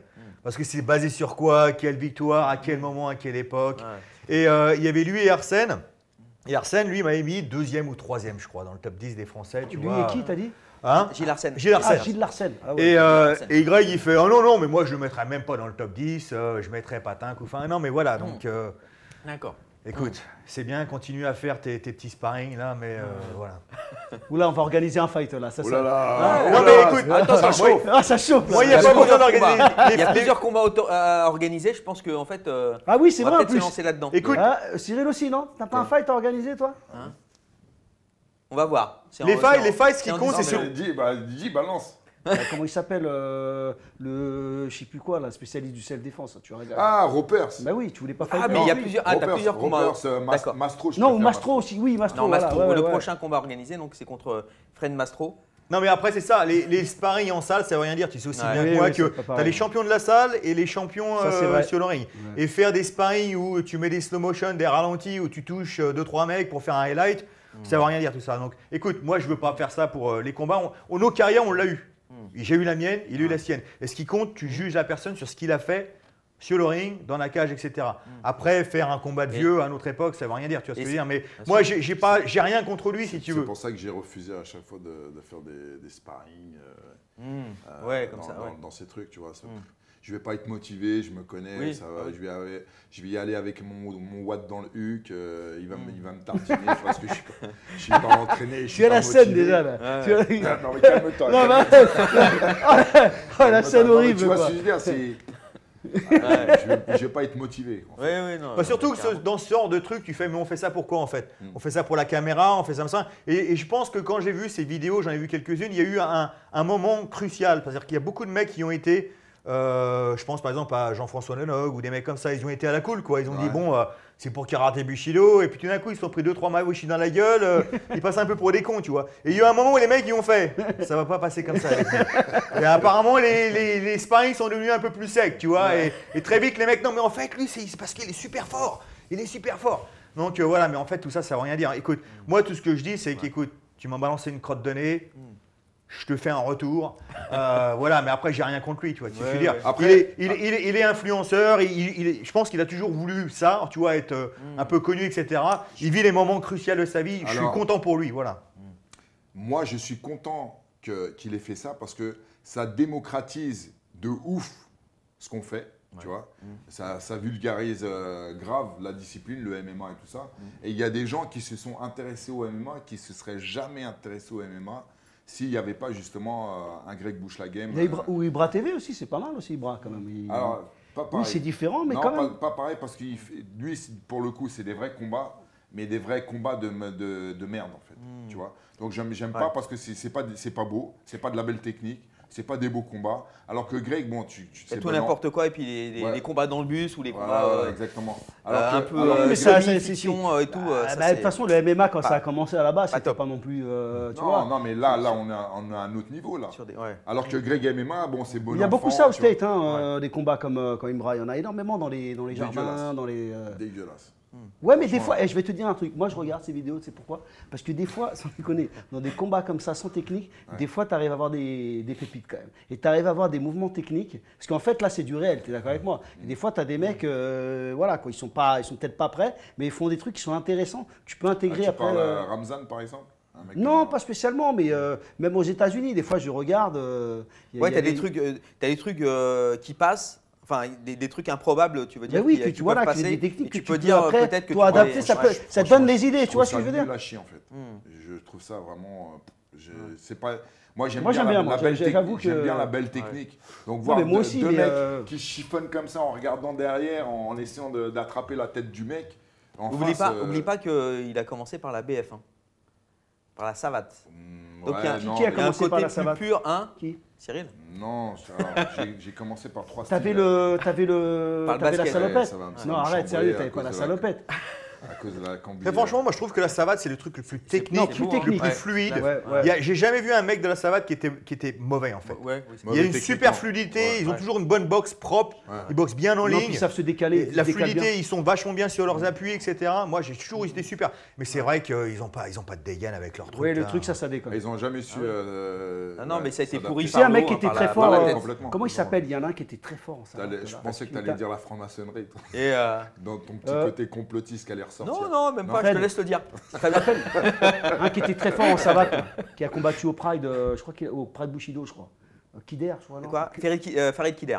Putain, il était bon, lui. Farid Kider, euh, Lui, il super avait bon. un ouais, style, ouais. mon ami. T'avais un autre aussi Mais- un- un- un- un- en Mais- France dans les années fin des années 90 justement t'avais deux trois mecs qui venaient de la savate Ouais. Farina, qui tournaient- non Farina. voilà qui tournaient en oui, kick qui tournaient en oui, bouet qui tournaient en tout fort. et les mecs c'est bon en tout Pinaccio qui avait battu euh, Ouais, Ramon Decker. Ramon. Decker. Ouais, je l'ai vu mais t'en as, eu plein. T'as eu une période, euh, t'as eu un âge d'or euh, Ouais, ouais. de dingue. Et, non, mais euh, c'est vrai qu'ils ouais. euh, l'école de, de, de- de boxe française là, c'est incroyable. l'ABF, ouais, Généralement, les un- mecs sont hyper. C'est un gâchis, euh, ouais, C'est monumental de, de, de ma Ah Donc je voulais savoir, est-ce que tu avais la tenue euh, Ah, qu'on veut savoir. Effectivement, j'ai alors j'ai été euh, champion universitaire de boxe. euh, Oui, boxe donc tu avais la tenue. Oui. Ah ouais Ah oui. T'as des photos ou pas? Vas-y, ramène pas, les photos. Envoie, balance. Ça fait chelou quoi. Surtout pas. non, Ça, bah, ça va se trouver. C'est dégueulasse. Non, mais D'accord. En plus, j'avais un corps de lâche, euh, laisse tomber. Alors imagine un mec de, de 2 mètres avec une combi de moulante. Oh là là, ça ça doit faire Bon, bizarre. moi je fais un appel, euh, je fais un appel au peuple là si quelqu'un a des Personne photos va trouver. Personne qui balance. trouver. Il a cramé toutes les archives. Ouais, exactement. Et si quelqu'un trouve, je vais retrouver son adresse. C'est vrai que la combi, elle est chaud quoi. Chaud. chaude, Mais chaude. d'ailleurs, ils ont voulu changer à un moment, non? Ils ont voulu. euh, Bah, ils, ont, ils ont changé le bas, le bas de le bas, tu vois, ils ont fait un truc un peu plus large, mais même comme ça, c'est dégueulasse. Ah mais quand ils ont essayé de faire le, le- leur profile là, le, le- Ouais, ouais. Ouais, c'est ça, ouais. ouais, Euh, c'est vrai que ça va c'est- dommage parce que c'est un bon sport. C'est vrai que la Non, c'est tenue, elle déconne quand même. Ouais. C'est chaud quand même mettre une tenue comme ça.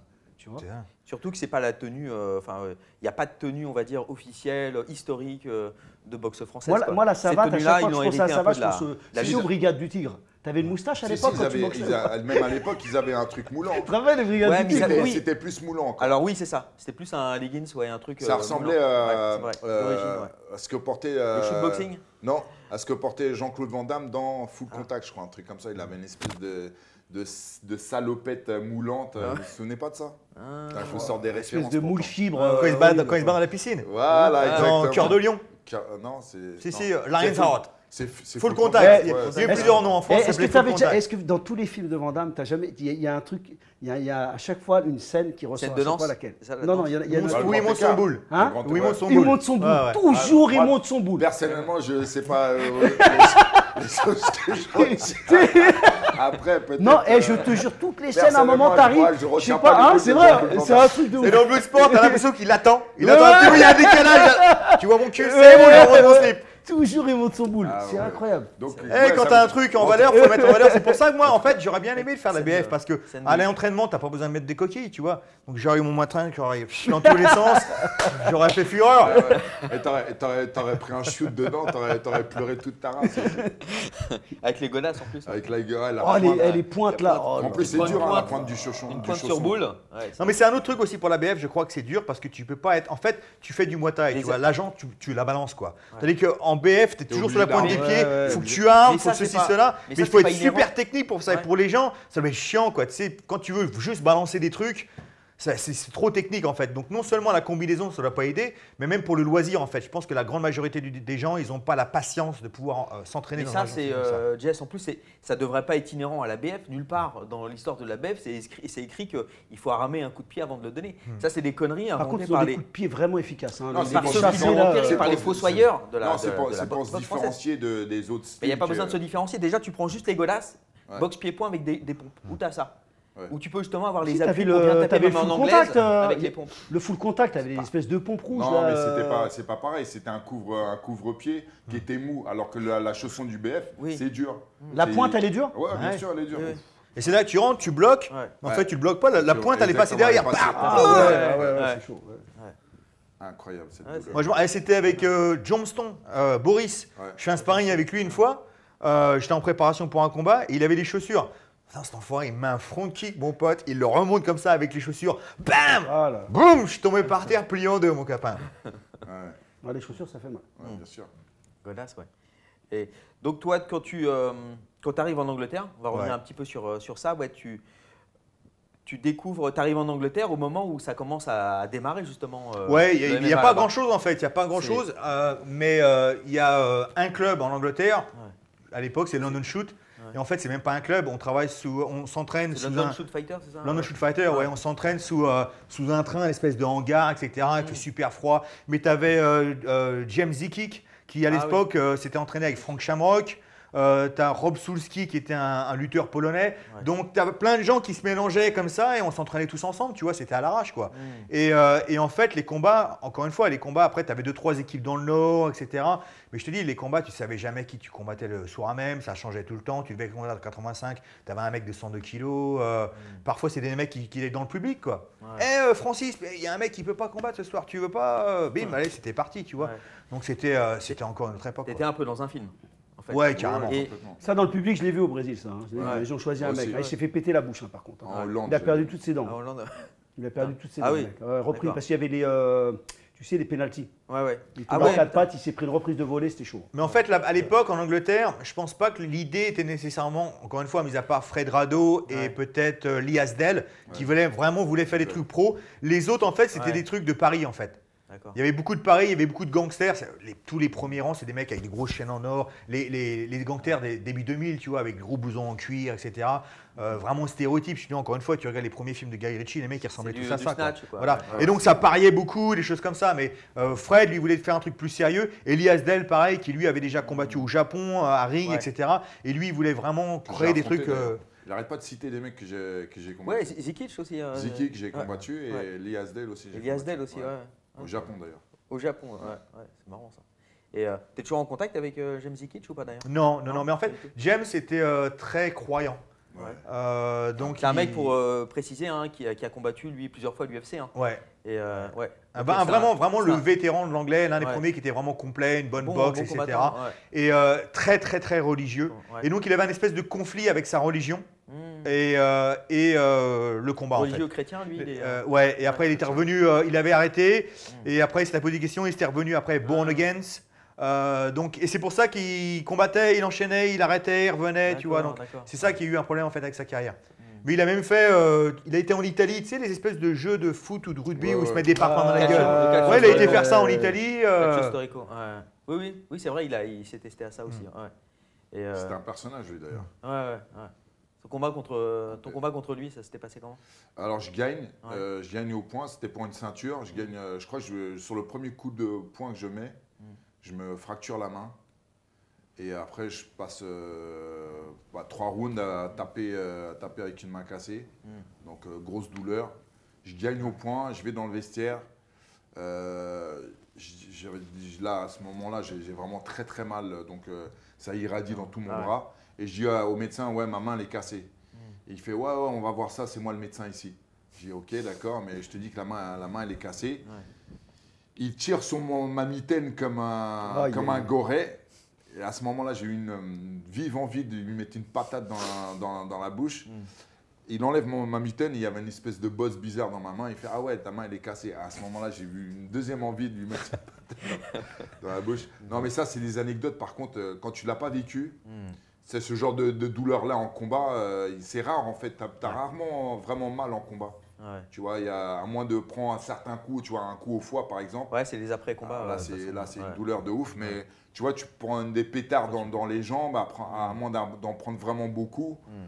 tu vas pas avoir mal. C'est le lendemain que tu vas avoir mal, tu vois, Ouais, généralement. ouais. Mais là, c'est- ces douleurs-là, ouais, tu Surtout en boxe taille, hein, quand même. Les Ouais. jambes, euh, waouh. Mais les mains, les mains, c'est souvent ça reste. Moi, je me suis fait casser la côte, mon dernier combat à l'UFC. Il me casse la côte la première minute et je le sens pas. Mais en fait, quand je suis au sol et que je fais du scrambling, je sens que ça fait Ça tire, ouais, ça tire. ouais. merde. Et deuxième round, tout d'un coup, c'est oula, ça commence. Et là, en fait, j'ai pas si mal que ça, mais j'ai tellement peur qu'il me frappe dans ce côté-là. Et à chaque fois qu'il veut m'amener au sol, j'essaie de sprawler, mais je sens les os qui font ça en fait. Donc en fait, je me laisse amener au sol et j'essaie de contrôler ses bras pour qu'il me donne pas un coup, tu vois. Mais mais c'est que après en fait, la douleur elle est vachement venue. Mais la main, la main, je l'ai senti tout de suite. Je Ah me suis cassé la main et j'ai repris. J'ai fait un combat après ça, trois semaines plus tard, avec la main cassée. À Paris, ici, en pancras. Et donc tout ce que j'ai fait, euh, je pouvais pas. J'ai amené le mec au sol pendant trois rounds en fait. Ah ouais, la main, ça doit être horrible. Ouais. En plus, tu Et- serres tes mains. Et Quoi. tu sais, avec l'adrénaline, l'adrénaline, c'est l'anesthésiant le, le- le plus puissant qu'on sécrète. Mm. Franchement, en combat, tu, si tu es bien gorgé d'adrénaline, il n'y a pas grand-chose que tu, tu ressens. hein. Il y a Et moi, quand je me suis fracturé le tibia, j'ai pas senti. hein. il y a Non, juste certaines, sur- certaines Je crois que douleurs. c'était le gars, moi. hein. Ça a pété, tu vois. Mm.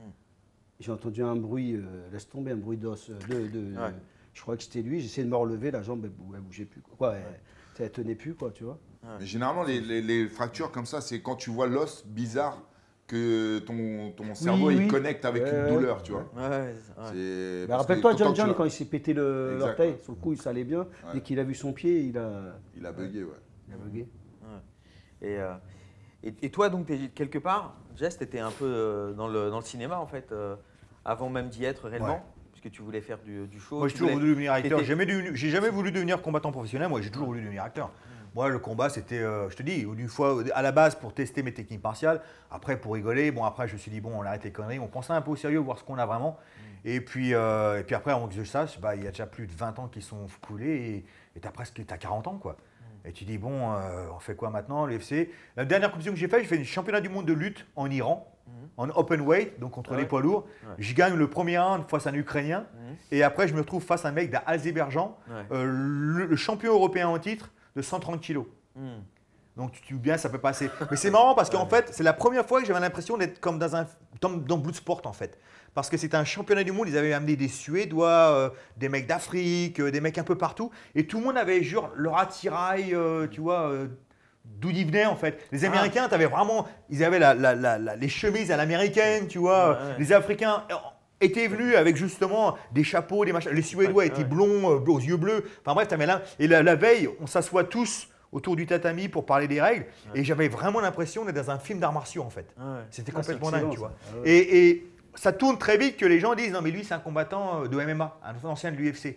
Et c'est marrant parce que quand j'ai fait le clinch avec le mec de 130 kilos, j'ai senti son cœur qui battait qui super battait vite en fait. vite. Jusqu'au moment où il s'est dit, mais c'est quoi ce mec-là? Il m'a balancé en l'air comme une merde. L'histoire elle était terminée. Donc voilà, et après ça c'était ma, de- ma dernière compétition. Et je me suis dit, bon, allez, euh, on passe à autre chose. J'ai jamais vraiment voulu devenir combattant. Et tu sais quoi, je suis quand même pas trop mal démerdé. Vu que j'aimerais bien devenir acteur, bah, on va essayer à ça et on va voir ce qui va se passer. Quoi. Parce que ça fait. Là, ça fait combien de temps Donc, toi, tu avais arrêté. Euh, t'as arrêté en quelle année? T'as arrêté en 2012, hein, c'est ça? Ouais, un truc comme ça. Ouais, ouais. plus, ouais. 2000 2012, euh, c'est ton dernier combat. Et dès que tu arrêtes, dès que tu, tu dis ça y est, j'en ai marre, c'est bon. Parce que tu avais fait six combats, tu avais espoir à ce moment-là Ouais, de retourner à l'UFC. Mais après, tu sais, même maintenant, l'UFC, là, je les écoute, hein, ça fait déjà au moins 3-4 ans, les mecs, tu as passé 30 ans, ils sont, ils sont pas intéressés. hein. Maintenant, ils veulent que des jeunes, tu vois. Et je pense que c'est pour ça qu'un mec comme par exemple euh, Michael Lebou ou quoi que ce soit, c'est, c'est- même s'ils font des bons résultats, tu vois, et c'est compliqué pour eux euh, d'aller là-bas. Si un mec de 20 ans les bat, ce mec de 20 ans, lui, va signer. Euh, regarde maintenant, le- l'UFC, mais ils font même l'euro événement, ils font le contender pour, pour signer des, des gamins, tu vois. Je pense pas que ça va être une solution sur le long terme, comme le mec de 17, 18 ans là, qui vient de signer. C'est-à-dire que c'est à des mômes que tout de suite tu les mets sur les lumières. D'ailleurs, il a Donc perdu. hein. Voilà, ça, ça va pas passer, à mon avis. Très très vite, il va Ouais, falloir il- qu'ils reviennent à autre chose. Quoi. Ouais. Mais une chose est sûre, c'est qu'ils veulent que des mecs de 20, de 20 piges. Quoi. Ouais, ils, veulent, ils veulent pouvoir essorer le truc un maximum de Bah, temps. ils investissent, ils mettent de l'argent. Si, si hein, le mec euh, il, bah signe, oui. il a 37 ans, euh, Bah oui. machin, ils savent très bien que C'est il- du business, il va hein, pas voilà. durer longtemps, tu vois. Ouais. Et en même temps, euh, c'est peut-être. euh, vous pensez qu'il y a un âge où vraiment. Où, un âge où tu commences à vraiment être mature, même physiquement parlant? Parce qu'un Bah, un, un mec avant 21 ans, en, en général, tu peux avoir des exceptions ou des, euh, euh, ou- ou des cas. Des, des- des différences ethniques, tu vois, ou des trucs Ouais. comme ça de constitution morphologique, mais avant 21 ans, tu n'es pas vraiment adulte, tu n'as pas vraiment t'as ta pas- même, constitution d'adulte. hein. même après 21 ans. Même tu- à, voilà, T'arrêtes ta, regarde, musculaire euh, c'est euh, pas à, le la même- fin, à la fin de ta vingtaine. C'est pas vois. le même sport, Ouais. mais en Muay Thai, euh, t'as des mecs de 17 ans, c'est des tueurs à gages quand même. Ouais, mais Ouais. Muay Thai, c'est pas pareil. T'as pas besoin d'être euh, musclé, machin. tu vois. Ouais. Alors C'est pas la même t'as- morphologie euh, que En ça MMA, demande. en. MMA, t'as besoin de plus de- d'avoir du muscle quand même. Ouais, ouais, Tu soulèves des mecs, euh, tu luttes avec des mecs, tu as besoin d'un minimum de masse musculaire. ouais, Box, box Thai, c'est- pas la même. ouais. Et donc vous pensez qu'il y, a un- il y y a un bon âge euh, pour, pour ça? Si vous, si vous aviez euh, La trentaine, je pense. la trentaine ouais. La trentaine, ça te permet d'avoir un certain bagage technique, de Mm. l'expérience. Mm. tu es au top de ta forme physique. Euh, franchement, c'est la trentaine où je pense que tu arrives à maturité. Ouais. Non, mais ça dépend des catégories de poids. Par exemple, pour Oui, un poids oui, lourd, aussi, ouais. euh, Au pas poids lourd, c'est un peu plus, un peu plus tard. ouais. Moi, je pense que c'est vraiment individuel. Je pense que tu as des Oui. mômes maintenant de 20 ans. Mm. Ils ont une maturité du combat. Ils sont déjà, tu les vois quand ils montent sur le ring, ils savent déjà ce qu'ils font là. Ils sont Bah, vraiment Jones- concentrés. Jones, par exemple. Ouais. Jones, il était mûr à 25 ans, tu vois. Mais, mais Jones, il a fait beaucoup de luttes avant. Il y a ça aussi qu'il faut Oui, prendre il a en considération avec les Américains. euh, ouais. C'est-à-dire qu'il il a peut-être gagné sa maturité en faisant euh, 150 matchs de lutte en fait. Mm, mm. Donc c'est ça, c'est côté ouais. compétitivité qu'ils ont Ouais. compris. Ils savent ce qu'ils font là en fait. Ils sont là pour gagner. Et alors Tandis que tu as des combattants, ils sont sur le de la cage. En fait, même eux ne savent pas ce qu'ils font là en fait. Ils Ouais. le font pour la gloire, ils le font pour l'argent, ils le font pour vraiment ce qu'ils veulent gagner. Instagram. Et très sincèrement, tu vois, tu vois, aussitôt que certains, aussitôt que ça se passe mal, Ouais. psychologiquement, ils sont pas là. Et on n'est pas obligé de dire des noms, mais même des, des combattants extrêmement connus et de, de nombreuses années, on le savait très bien qu'ils avaient peut-être un round dans les pattes, et si ça se passait pas bien pour eux, psychologiquement, déjà, ils passaient à autre chose. Mm. Et certains d'entre eux ont des noms et sont connus même comme des légendes du sport, tu vois. Ouais. Ouais, c'est vrai. Et, et justement, est-ce qu'il faut avoir même donc une, une- une carrière avant le MMA Parce que le MMA, c'est euh, c'est tellement complet, effectivement, que euh, c'est c'est- enfin, commencer directement par ça, je pense que. Bah non, regarde Même Benoît. Il y, gamin, en a, c'est- il y en a- il y en a de plus en plus. Regarde Benoît. Il y en a de plus en plus. Ouais, ouais mais judo, il a fait beaucoup de compétitions en judo. Ouais, non, mais pas non Depuis- plus. ah ouais, euh, non. Non, mais- C'est pas non plus. euh, Ah, si, pas mal quand même. hein. Ouais, Parce qu'il voulait même être champion de, de judo. Il, voulait, c'est, il a été blessé, du coup, après, il a, il, il a switché. Du Mais coup, combien de matchs, à ton avis, il a fait de judo cours spéciales 50 matchs 60 sais matchs judo, tu enchaînes les matchs, hein, ouais, les combats. C'est ce que je te dis. T'enchaînes, 60 hein. matchs, mais c'est énorme. Ouais. 60 fois, tu te trouves sur un tatami face à un mec et tu te poses des questions qu'est-ce que je Ouais. fais là Est-ce que je dois le faire Est-ce que je dois pas le faire. Et très très vite, en tant qu'humain, Ouais. ta maturité elle monte et tu, très bien tu dois savoir bon, je suis Ouais, là ici pour les bonnes raisons et je, je sais ce que je vais faire. Ouais. Quel que soit, même si tu fais un match de, de semi-contact ou quoi que ce soit, ou si tu as un adversaire face à toi, tu te poses des questions euh, est-ce que je vais vraiment faire ça? Donc je pense que même si tu as fait 60 matchs de judo, ce qui pour un judoka est rien du tout, mais, mais c'est énorme pour une carrière de combattant en fait. Psychologiquement, à, à Mm. partir de 60 matchs, tu sais les raisons pour lesquelles tu es là. Oui, mais c'est curieux. Par exemple, il y en a, ils ont des carrières amateurs. Tu es d'accord avec moi Ils ont enchaîné plein de combats amateurs. C'est pas pour ça qu'ils vont être bons en professionnel, t'es d'accord avec moi Ouais, parce fois, que parfois, parfois, il y a aussi une, une- une fatigue. Ouais, parce que- Il y a une Ouais, fatigue. psychique, tu veux dire une fatigue, il y a un moment. Justement, il y en a qui se sont cassés les pattes en faisant justement de la compétition amateur. À un moment, ils passent pro et ils ont déjà. Et tout est derrière en fait. Ouais, ils ont donné toute leur, leur, leur psychologie, leur physique, leur énergie. Parce que c'est dur Euh. les combats amateurs, attention. Hein, euh, bon, les bons. Ouais, Je vois les, les combats amateurs, on en, on en revient souvent euh, au même sujet, mais les combats amateurs aujourd'hui en France en MMA, c'est un niveau de, de ouf comparé à 15 ans en arrière, de, Oui. le- tu vois. Non, puis c'est dur, les mecs ils se castagnent quand même. oui, hein. oui, bah oui, bien T'as- sûr. T'as des KO Ouais, aussi. Il y a hein, des KO, des- bien sûr. ouais. C'est vrai. Parce que même les petits gants, on dit les gants de MMA, tu es euh, amateur. Ouais. C'est quoi C'est du 8, euh, les, les gants C'est rembourrés du 7, ouais, je crois. Du 7. Ouais, Du ouais. 7, euh, t'as vu, euh, euh, en boxe taille, pour ma KT, c'était du 8. Ouais, ouais. Déjà, ça tape, t'imagines du 7. Ouais, bien sûr, Tu vois, donc déjà, l'impact, quand même, tu le sens. hein, tu vois c'est Ouais. sûr.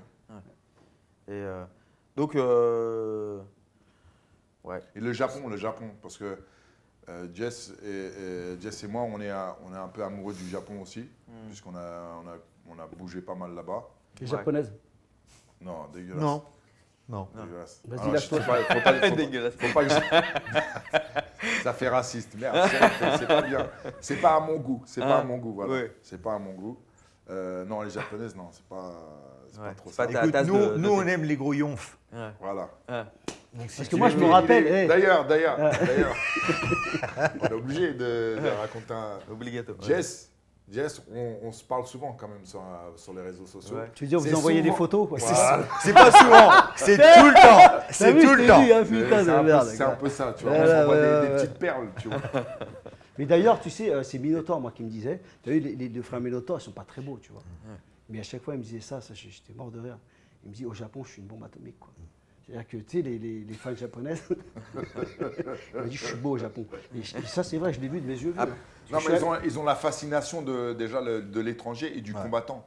Tu vois, Ouais, quand tu es combattant Et au du Japon. grand, euh, apparemment, au, au Japon, si tu fais euh, au moins 1m80, entre 80 et Ah bah, 90, t'es beau, quoi. bah. Non, mais non, pas nécessairement. Oh. Au Japon, en fait, tu as Non, je sais certains fantasmes. En fait, tout ça, dépend ouais. dans quel quartier tu es. Ouais. C'est assez bizarre, Ah en fait. Ils ont une espèce de fanatisme. Parfois, certains japonais, je vais pas faire une généralisation, Ouais. mais moi, quand je vivais là-bas, par exemple, je m'apercevais que je, pour je ne sais quelle raison, tu avais un groupe, un certain groupe de femmes ou un certain groupe de personnes, ils étaient fascinés par les Français. Donc, quel que soit le français, la tête de qui il a ou quoi que ce soit, c'est Oh, sugoi Tu vois, il, voulait vraiment. ou alors, ça peut être un anglais ou un américain. J'ai vu plein, moi, de japonais qui se prenaient. Moi, parce que je travaillais en tant que videur dans une boîte de hip-hop, Ouais. et tous les japonais qui venaient, casquette à l'envers, ça parlait machin, ça se Ouais. lavait. Donc, tu vois, ils ont une espèce de, de fascination comme ça, mais vraiment poussée à l'extrême. Ah ouais. Tu vois.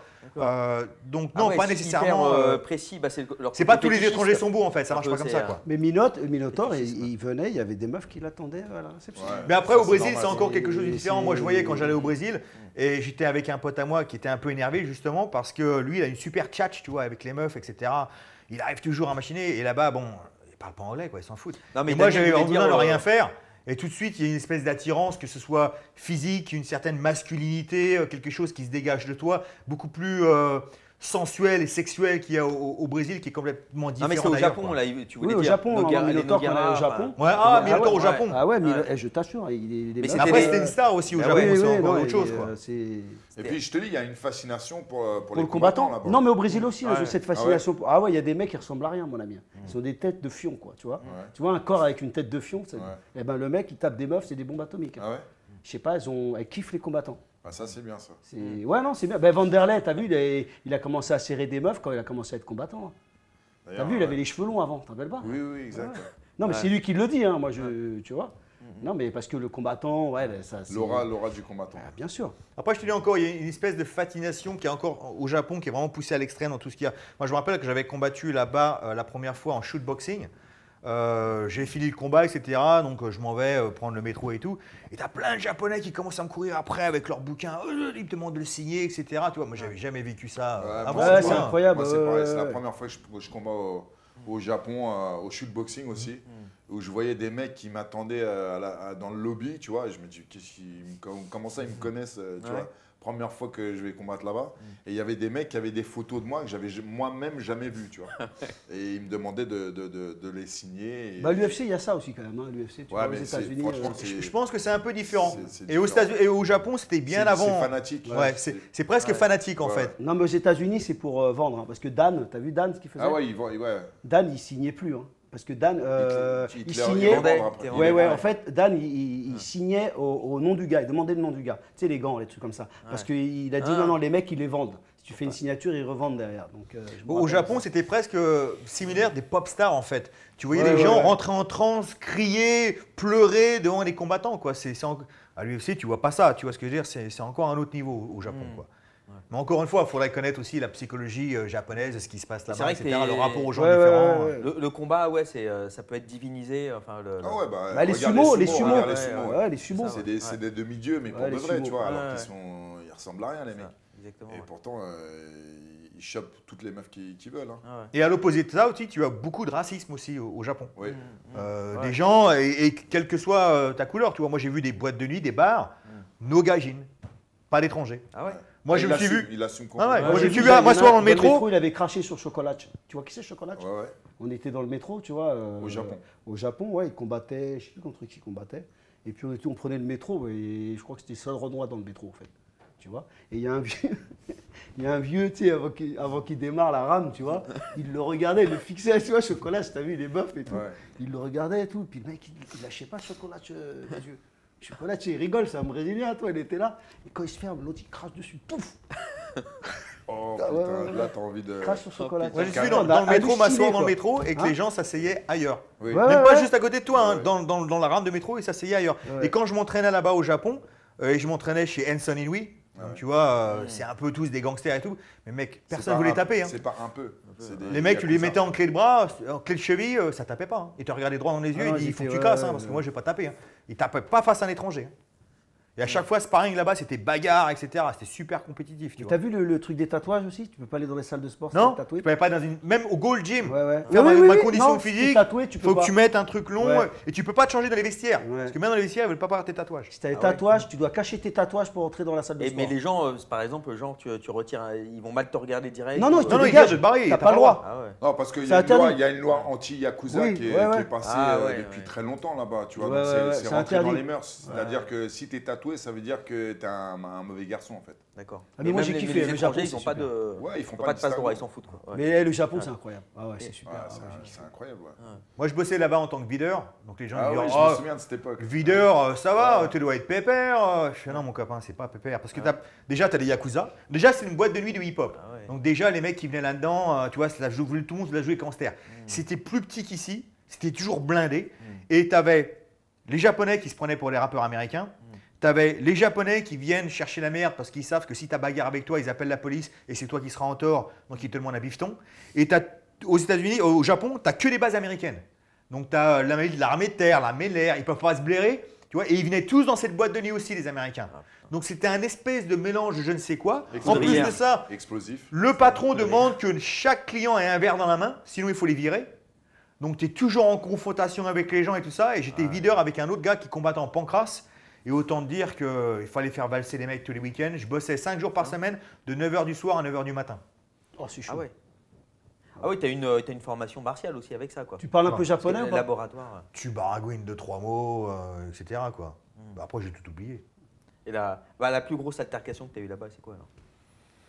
C'est toujours la même chose. hein. Il n'y a pas vraiment. Le plus grand euh, championnat de bar. ouais. Non, il n'y a, a pas vraiment. Tu Ouais. sais, après, il faut dire une chose, tu sais, et peut-être qu'on partira sur la self-défense euh, par la suite. Tu sais vraiment, un- quand tu es un combattant et que tu as combattu dans tout un tas de disciplines, que ce soit moi ou Cyril aussi, à un moment, tu, tu sais de combattre, tu sais à quoi t'attendre. T'as- Les gens ils disent, ouais, mais le ring n'est pas euh, Ouais, la rue. Pas Tout ça, c'est des conneries en ouais, fait. Tu as Pas tellement l'habitude et, et- et très sincèrement, euh, tu attrapes un mec, tout de suite, tu tapes la tête, tu le mets dans une guillotine contre ton machin. 5 secondes plus tard, il tombe par terre, il est machin. Ça va très vite en fait. Quand tu sais vraiment de combattre. Après, c'est sûr qu'il ne faut pas sous-estimer les gens. Faut pas que tu commences à partir en anglaise, à faire 1, 2, 3 et lui de balancer un truc venu de l'espace. Mais si tu sais justement contre les distances, comprendre ce qu'il en est très très vite, voir il a lui, il a lui là, qu'est-ce qui se passe, etc. En fait, ça se passe toujours très très vite en Il y, fait. a, il y a un élément euh, euh, que j'essaie de soulever dans, dans les fameuses euh, vidéos de, avec Greg MMA, c'est que parce que effectivement, ce qu'on dit tout le temps, ce qu'on me dit tout le temps quand je, quand je fais mes débats avec les, les selfers, c'est que ils disent ouais c'est la, la rue, c'est pas la- c'est pas pareil qu'un sport de combat. Mais poto, quand t'as, euh, il en parlait aussi tout à l'heure avec l'histoire des 60 combats de, de judo, quand tu as l'habitude de gérer tout ce qui est euh, sentiments et émotions parasites, le stress, l'anxiété, le- et t'as- t'es- tu sais comment le gérer, tu sais comment euh, le tempérer et, faire, euh, et, et rester lucide, bah, tu as un avantage euh, certain sur le mec, peu importe euh, dans quel style tu, euh, tu évolues, tu vois. Et donc, euh, c'est vrai que, euh, par exemple, la nuit, tu te retrouves face à un mec qui est, euh, qui est agressif, tu sais que vu où ça va, la vitesse où ça va, et ça, va en venir aux mains très, très rapidement. Donc tu as le stress qui monte, tu as l'adrénaline qui monte, mais tu arrives à gérer ces trucs-là et tu arrives à rester lucide et donc reproduire une, une technique, tu vois. Et euh, ça c'est un avantage euh, incroyable par rapport à- au mec euh, qui est, qui est dans la bagarre et qui va pas sortir. De toute façon, quand tu t'es tapé dans la rue, si tu as fait des sports de combat, ça aide. hein. Moi, Ouais, je me suis tapé bah, dans la pas, rue. Pas en ça croire, m'a- pas Non, en croire les, les mecs de, de la self-défense. Moi, ça, ça aide. Hein. Des- un- le fameux low kick, tu- tu mets un low kick à un mec dans la rue, il va pas bloquer. hein. Ouais, je peux te dire, Non, moi, en ça fait- va sauver la vie. hein. En fait, quand tu combats professionnellement ou même en amateur à un bon niveau, le gars face à toi, c'est tout faire. C'est un jeu d'échecs, comme Voilà, on l'a dit maintes et maintes fois. Donc, tu anticipes ce que lui déjà essaye d'anticiper. Donc, il y a tellement un calcul de je mets ou je mets pas ou je rentre quand. Face à un mec lambda, il n'y a pas de calcul. Tu vois son truc arriver. C'est comme si ça arrivait au ralenti, en fait. Parce que tu sais déjà la façon dont est placé, ça peut venir que de là ou que de là. Et déjà, vu que tu gères la distance, le truc, tu le vois arriver, c'est bon, ok, ça arrive là. Et après, je vois des mecs faire des démonstrations de self-défense où déjà, ils n'ont même pas les bases de la boxe. C'est-à-dire qu'ils vont dire à un mec, alors, mets-moi une droite et je vais l'esquiver. Mais déjà, tes pieds ne sont pas d'un bon endroit. C'est-à-dire que si tu veux esquiver son bras arrière, il faut que tu sois face à son bras arrière. Comme ça, s'il arrive, tu vas faire ça. Si tu es face à son bras avant et que tu veux esquiver le bras arrière, tu vas faire ça. Et tu roues avec une dent cassée. Euh, Fran- euh, non, Fred Mastro contre. euh, comment il Bob Sapp. Bob Sapp. Ah oui, il lui a Mais tu vois, tu vois, tu vois ce que je veux dire? C'est-à-dire que, c'est- mec, t'as- même pas les bases de la boxe Ouais. que tu vas apprendre à ta première année, en fait. Ouais. Tu vois ce que je veux dire? Et donc, ne fais- après, ne me faites pas des synthèses de, de quoi que ce soit dans la rue. Ou... Et après, pareil, tu as des combattants qui sont bons sur le ring, qui sont peut-être même pas nécessairement bons dans la rue, parce qu'ils ils ont- ils- ils sous-estiment leur adversaire. Donc, justement, ils veulent faire un combat de boxe, Ou- en fait. il se euh, surestime. Ou il se ouais, voilà. Il y a- il y, a les deux. Mais quand, ouais, quand tu es videur, moi j'ai vachement appris en, en étant videur. hein. Euh, J'ai vachement appris en étant. Déjà, il y a un truc aussi, euh, ça aussi l'argument, c'est que euh, nous, on n'a pas de règles, on a, tu vois, on peut, on peut, on a le droit à tout et tout ça. Mais poto, les mecs qui viennent euh, de la boxe anglaise, de la boxe thaï, du MMA et tout ça, ils viennent d'où? Ils viennent d'où à la base? C'est des banlieusards qui, ont- avant même de, rentrer dans une salle de boxe, ils tapaient déjà dans la rue, les mecs. Donc, euh, faut pas me sortir, oui, nous, on a l'habitude, il n'y a pas les règles et tout ça. Déjà, un mec qui fait de la boxe taille, faut savoir que quand il avait 10 piges ou 15 piges, il était en train de se taper avec ses potes dans la cité.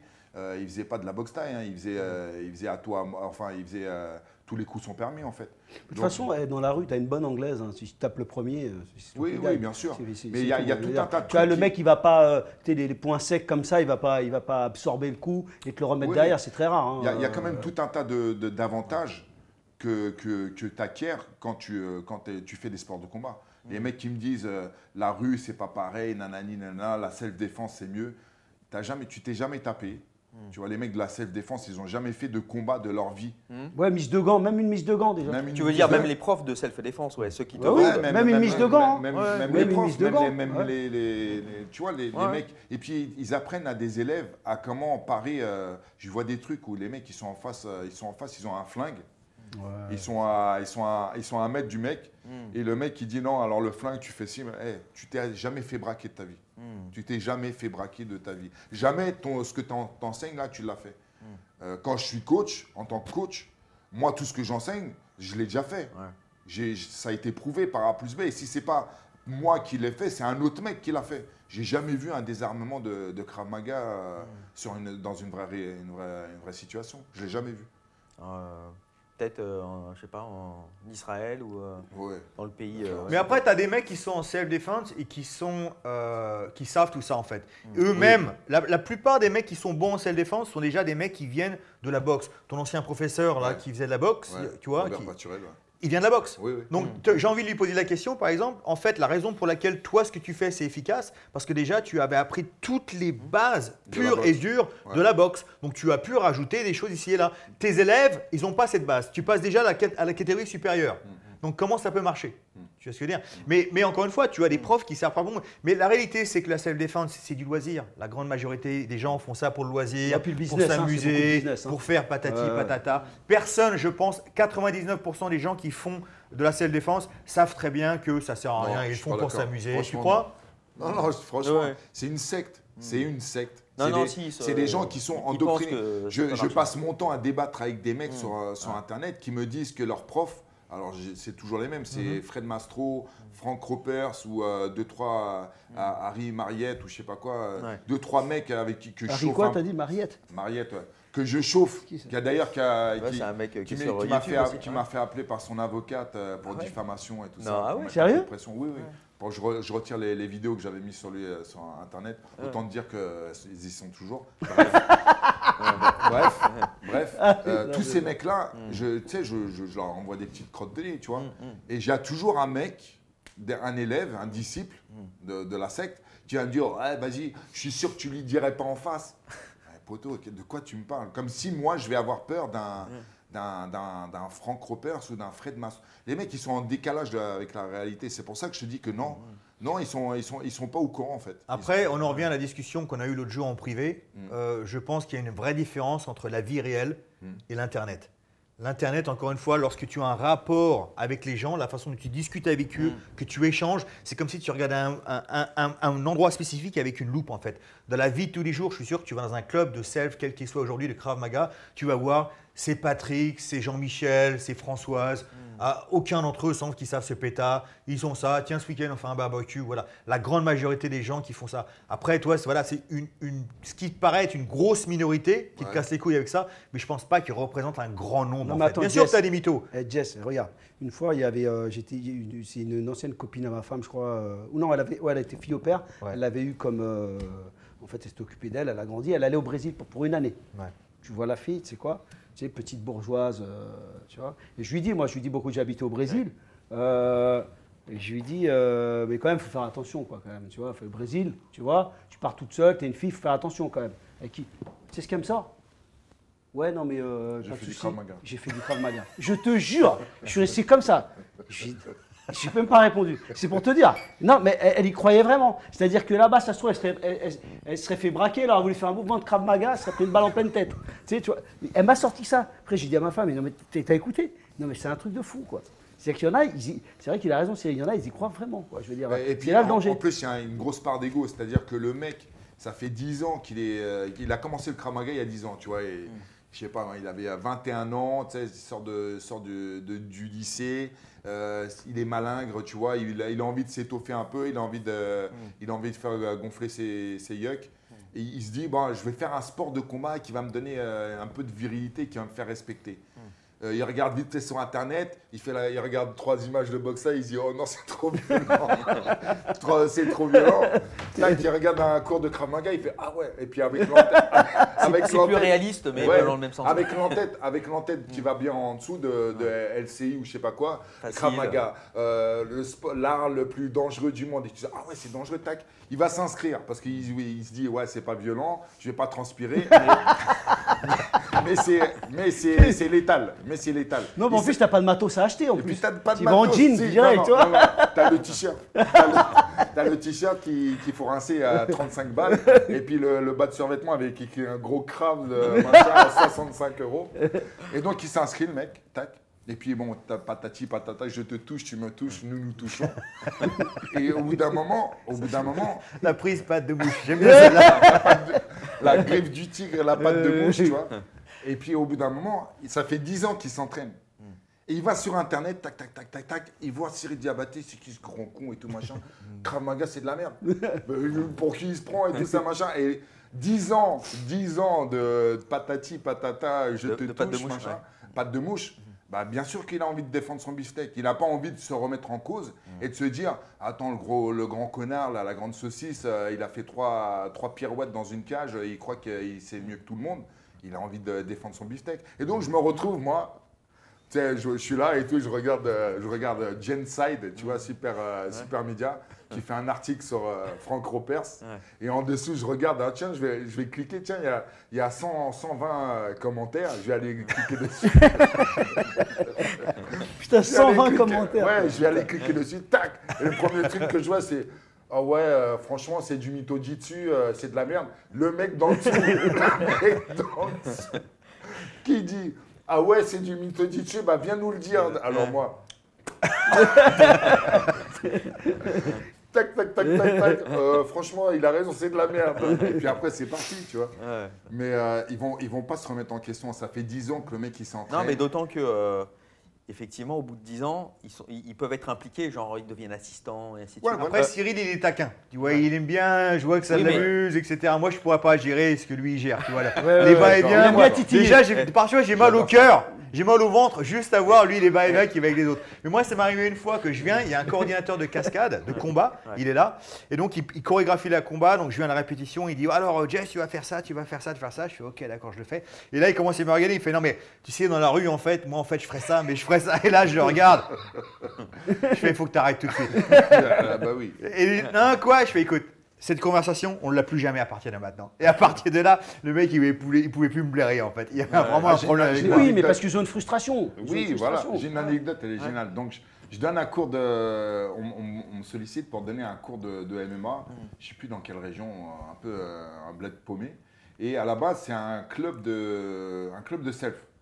D'accord? Et euh, avant de donner le, le- le- le stage, on m'invite à manger et tout, donc on va, on va manger au truc. Et, euh, et le mec, il est à fond dans son, dans son truc, il me parle des, des points vitaux, tu vois. Il dit, ouais, parce que nous, si tu veux, euh, nous, ce qu'on a, dans notre art, en fait, on, on apprend les, les points vitaux. Et en fait, euh, dans les autres styles de self-défense, quand ils parlent d'armes de, de- de points vitaux, c'est de la merde et tout ça. Nous, on a vraiment le truc parce qu'en fait, si tu veux, c'est pas seulement l'emplacement du point vitaux et comment et, et le frapper, c'est comment tu vas le frapper, l'angle que tu vas employer pour frapper le. Alors, si tu tapes euh, ce point vital là d'un certain angle, tac, ça va pas marcher. Si tu le tapes comme ça, ça va marcher. Oui, j'ai déjà, je- j'ai déjà entendu ce- le- et moi, je suis là et tout, je l'écoute et tout. Je de l'angle. tac, tac, tac, il me fait. Et à un moment donné, donc j'étais à l'UFC. hein. À un moment donné, il me dit euh, euh, c'est parce que, regarde, nous, on, le voit, nous, parce que toi, tu le vois pas, parce que tu n'as pas l'œil, tu vois, de, du, euh, tu le vois pas C'est pour ça que tu portes des lunettes. Attends. Tu ne vois pas l'œil de- de- du- point vital, mais nous, on a, si tu veux, on connaît, tu vois. Par exemple, il me sort un blast d'un combattant de l'UFC. Ouais. Et il me dit, tu te souviens quand il était dans la garde du mec? Je dis, ouais, je n'ai pas fait gaffe. Il fait, ben là, tac, à un moment donné, hop, quand il met son coude à l'in- à l'interstice du quadriceps et tout ça, machin, en fait, là, c'est pour, pour lui toucher un point vital avec cet angle-là. Et c'est pour ça qu'il a ouvert sa garde. Je suis là touché. Ah ouais, d'accord. Donc les mecs, ils, se, ils voient un combat de MMA avec des yeux de. Avec de- des yeux de- d'expert. euh, avec des yeux de, de ouf, De- avec, oui, avec oui. des yeux de, de, ma, de ma boule. Mais Tu vois L'autre, dit qu'il frappe comme euh, euh, Damien Cormier. Ah oui, Harry, Harry Mariette, ouais. un, crabe- un prof de Krav Maga. Oui, oui. Qui, euh, vu qui- son- moi j'avais mis, Je vois pas qui c'est, lui. c'est- un-. Belge, euh, c'est un Belge. Un Belge. Et, ouais. et, et, euh, à un moment donné, il dit dans une de ses vidéos que j'ai, downloadé et j'ai coupé bien à cet endroit-là, Ouais. où il dit Ouais, alors j'ai acheté, avec ses- son accent belge, alors je ne vais pas le faire parce que je le fais mal, mais il dit qu'il allait acheter des capteurs pour ses poignets qui, euh, qui enregistrent la vitesse et la puissance de ses coups de poing. Mhm. Et il dit Oh, je suis assez content et tout, euh, ouais, je tape assez, assez fort. euh, bon, je, bon, je suis un gros gaillard quand même, je fais à 120 kilos, mais bon, je suis content quand même, je tape aussi fort que Daniel Cormier. Ouais. Et on est là et tout, ben, je dis, quelle, quelle, quelle folie quoi. Non, mais en plus, et avec la science de l'angle. Ça veut Oui. dire que s'il tape dans le bon angle, il est plus efficace Et que tu- Cormier. T'as pas vu le mec qui fait des vidéos, Et- le mec qui se tape dans les bars avec des gants de C'est- MMA Déjà, quand tu vas dans un bar, t'as pas des gants de MMA, tu vois Tu, T'as ah, pas tu vu, il fait de des Greg, scènes. Greg Non, non, non, c'est pas Greg MMA. Euh, ah, il fait C'est ça aussi Bah oui. Ah ouais, ouais, il l'a C'est fait. ce que j'ai fait moi. Il est parti en couille, Eh, euh, mais attends, je, je m'ou- je m'ouvre au monde. Tout le monde dit que, tout le monde mais- dit à Cyril Diabaté, il est, il est, il est non, mais fermé c'est pas d'esprit ça. et tout. Oui, mais là, c'est pas, là, c'est pas pareil. Ils ont mis ça pour. euh, je pense que c'est pour. Euh, parce qu'il y avait des frappes, c'est ça, pour pas se blesser. Non, je te parle pas de ça. Moi, il y a un mec qui met en scène des embrouilles. Alors, tu le vois, il est en train de boire un verre et tout. Ouais. il et il est avec ses gants de MMA, quoi, les mecs. Tu vois ce que je veux dire?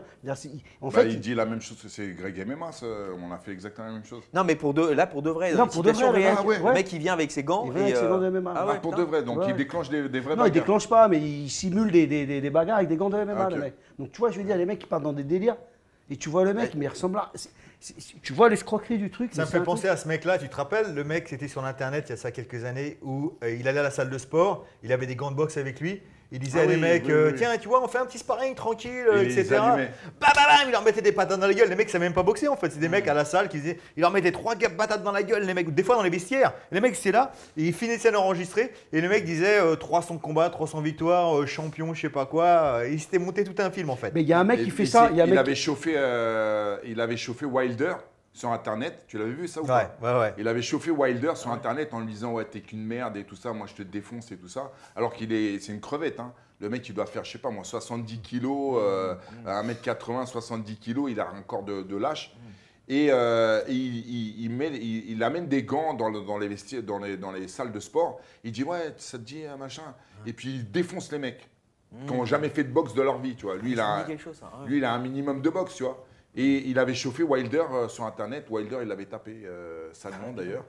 Et après, il courait dans la dans la dans, Ah, c'était Wilder qui était derrière lui. J'ai Ouais, vu ouais, cette vidéo. Wilder. Il le, il le coursait dans la gym. Exactement. Et le... Exactement. il Et tu sais, dans les arts martiaux, de toute façon, moi, dans les arts martiaux, aussitôt qu'un mec, et c'est pour ça, et ça me fait penser à Michael J. White, aussitôt que les mecs qui veulent te parler des arts martiaux, et déjà, tu as l'impression que ça se transforme autour de magie, où il faut Oui. toujours que, tiens, mais attrape ma main, mais attrape-la pas, mais tiens, je vais te lancer Non, un comme truc. ça, mais tiens-moi comme voilà. ça, ouais. Aussitôt que ça, ça, ça ressemble à du David Copperfield, on n'est plus dans les arts martiaux, les copains, faut arrêter tout de Ouais, suite, ouais. tu vois. Ouais, c'est vrai. Mais c'est vrai que tu as des cas dangereux. Moi, je me souviens, sur, euh, je, je bossais pour un magazine et j'avais reçu des. Enfin, c'était sur un Des des, menaces magazines. J'avais reçu un quoi? Des menaces. Des menaces, ouais. Ouais, non, ça c'est. C'est c'est toujours ça. Et euh, c'est, euh, j'avais reçu un courrier d'un mec, un prof de Krav Maga euh, qui avait exercé, je sais pas, 20 ans, qui m'a envoyé un courrier. Il m'avait, il m'avait dit, euh, il m'a raconté son histoire. Il avait eu une altercation qu'il avait jamais eue en 20 ans. Et il s'était rendu compte que le Krav Maga, c'était de la merde. Il avait arrêté du jour au lendemain. Il s'est fait Donc, défoncer. Quoi. Il Bah, s'était- ça, c'est il déjà s'est fait ça, défoncer. ouais. Et, et- en fait, je pense que tu as beaucoup de mecs comme lui qui sont tellement dans l'illusion, effectivement, qui sont, Ouais. euh, qui sont sur la planète Mars. quoi. C'est de la J'en ai- religion quasiment. J'en ai, j'en ai tu déjà reçu, j'en Ouais. ai déjà reçu des mecs qui se sont inscrits chez moi, qui Ouais. me disaient, qui leur, leur premier truc, ouais, je m'inscris et tout, je vais Mmh. faire du MMA. Ah. euh, Ouais. Je faisais, j'ai 6 ans de Krav Maga. Il, il dit ça avec un petit sourire en coin. Il dit, ouais, je sais ce que ce que t'en penses. Bah voilà, je suis venu parce que euh, en fait, euh, je me suis fait agresser, machin. euh, J'ai vu que c'était de la merde et Ouais. voilà, je suis là, tu vois. Un reconverti. Ouais. ouais, ouais. Moi, j'avais, je me rappelle d'avoir vu déjà une cassette vidéo il y a ça très longtemps. Donc, il y avait les cassettes, donc aut- autant dire. Et où le mec dé- dé- faisait une démonstration de Krav Maga, donc c'était une cassette de technique, Ouais. et ça ressemblait en fait au MMA quoi. Le mec, je Ah Il y a même des boxait, compétitions. il allait au corps à corps. Il y a même des compétitions de Et Krav ça ressemblait ça pas du tout à ce à qu'il y a aujourd'hui en fait. Ouais. Ouais. Mais en- en premier- après, moi, je suis pas un expert, mais de ce que j'ai compris en plus, lorsque tu étais dans l'armée euh, israélienne et que tu fais du Krav Maga, mais c'est en fait c'est 2-3 jours en fait. Enfin, c'est pas comme si tu t'entraînais tous les jours en Krav Ouais, Maga. ouais, ou- exact. En fait, c'est juste un, un- un cours intense, Ouais. je crois 3-4 jours ou peut-être une semaine, Ah ouais. et après, il passe à autre chose quoi. Non, mais en plus, ça, ça peut. Mais ils rien en ont pas besoin, ils ont des armes automatiques. Exactement. à- non, mais puis à même le close, le, voilà, le combat oui. que tu apprends dans, l'armée n'a rien à voir avec la self-défense pour euh, monsieur, monsieur, madame. Mais t'en as, as parlé avec Benoît de toute façon. Bah oui. Euh, Benoît, il n'y a pas plus, euh, c'est pas euh, pirouette galipette, c'est un mec qui était vraiment sur le terrain. Ah oui. Et lui, il dit, euh, on n'a pas de truc au corps à corps. euh, Ben voilà, non, non, ça- de toute façon, pas. ils sont armés, euh, comme il dit. euh, Donc là, à partir de là, euh, l'histoire, elle est a- Un, un terminée. militaire, à partir a- du moment où il a plus son arme à feu, Bah déjà, ouais. ça veut dire qu'il a- a, il y a- il est dans la merde, hein. Il a, il a- il a- Il va il a crever. perdu, tu vois. Ouais. Les soldats, même les soldats d'élite, ils ont un, un corps à corps, mais très limité à l'essentiel. Ouais. Ils n'ont pas que ça à faire en fait. Voilà. T'arrives dans, le- dans le dos Donc- du mec, tu mets un coup de surin dans, le- dans les reins et ouais, ouais, ou- déjà. voilà. Ah. Donc bon, c'est. Après, moi, encore une fois, j'ai pas vraiment une animosité entre, vers les gens qui font. je suis de la grande majorité, pour moi, mis à part des gens qui sont égocentriques, qui auraient voulu être combattants et qui malheureusement n'ont ni le courage ni les capacités techniques ou mentales et qui sont réfugiés dans ça, la grande majorité des gens, ils font ça pour le loisir et ils s'amusent en fait. Donc j'ai envie de dire aux gens, voilà, on vous attaque pas personnellement quoi. Non, mais encore une fois, Françoise et Jean-Marie, ils font ça pour s'amuser le week-end, tu vois ce que je veux dire, à Clermont-Ferrand là, voilà, ils font ça trois fois par semaine. Non mais c'est ça, tu vois ce que je veux dire. Clermont-Ferrand. Clermont-Ferrand. il est ah ouais, ferrantophile. Ouais. Non, mais tu vois ce que je veux dire. Les gens font ça pour s'amuser, donc du moment que tu t'amuses, tu prends du plaisir, tu bouges un petit peu, tu fais des Non, trucs, voilà. D'ailleurs, il y a un grand spécialiste dans une gym assez connue euh, qui fait du cravat. Ça y est, il essaie de, il y a, à, chaque, à chaque émission, il essaie de, de la glisser, tu vois. Ouais, on, donc, vas-y, de qui? Non, je sais pas, je te pose la question. Tu moi, parles de qui? Vas-y, lâche, lâche un nom. Non, j'ai pas de nom en fait. D'accord. Ouais, ouais. Donc une grande salle? Une grande salle. Voilà. Voilà. Allez, j'ai une place au Bellator à gagner. Qui est spécialiste de quoi? De Krav Maga? Kramaga. Ok. D'accord. D'après ce Non, que mais je pense vu. que la hein. limosité Ah vient surtout d'une poignée de personnes qui justement se mettent constamment en avant, qu'on voit régulièrement dans les réseaux sociaux, qui pour moi sont des bullies.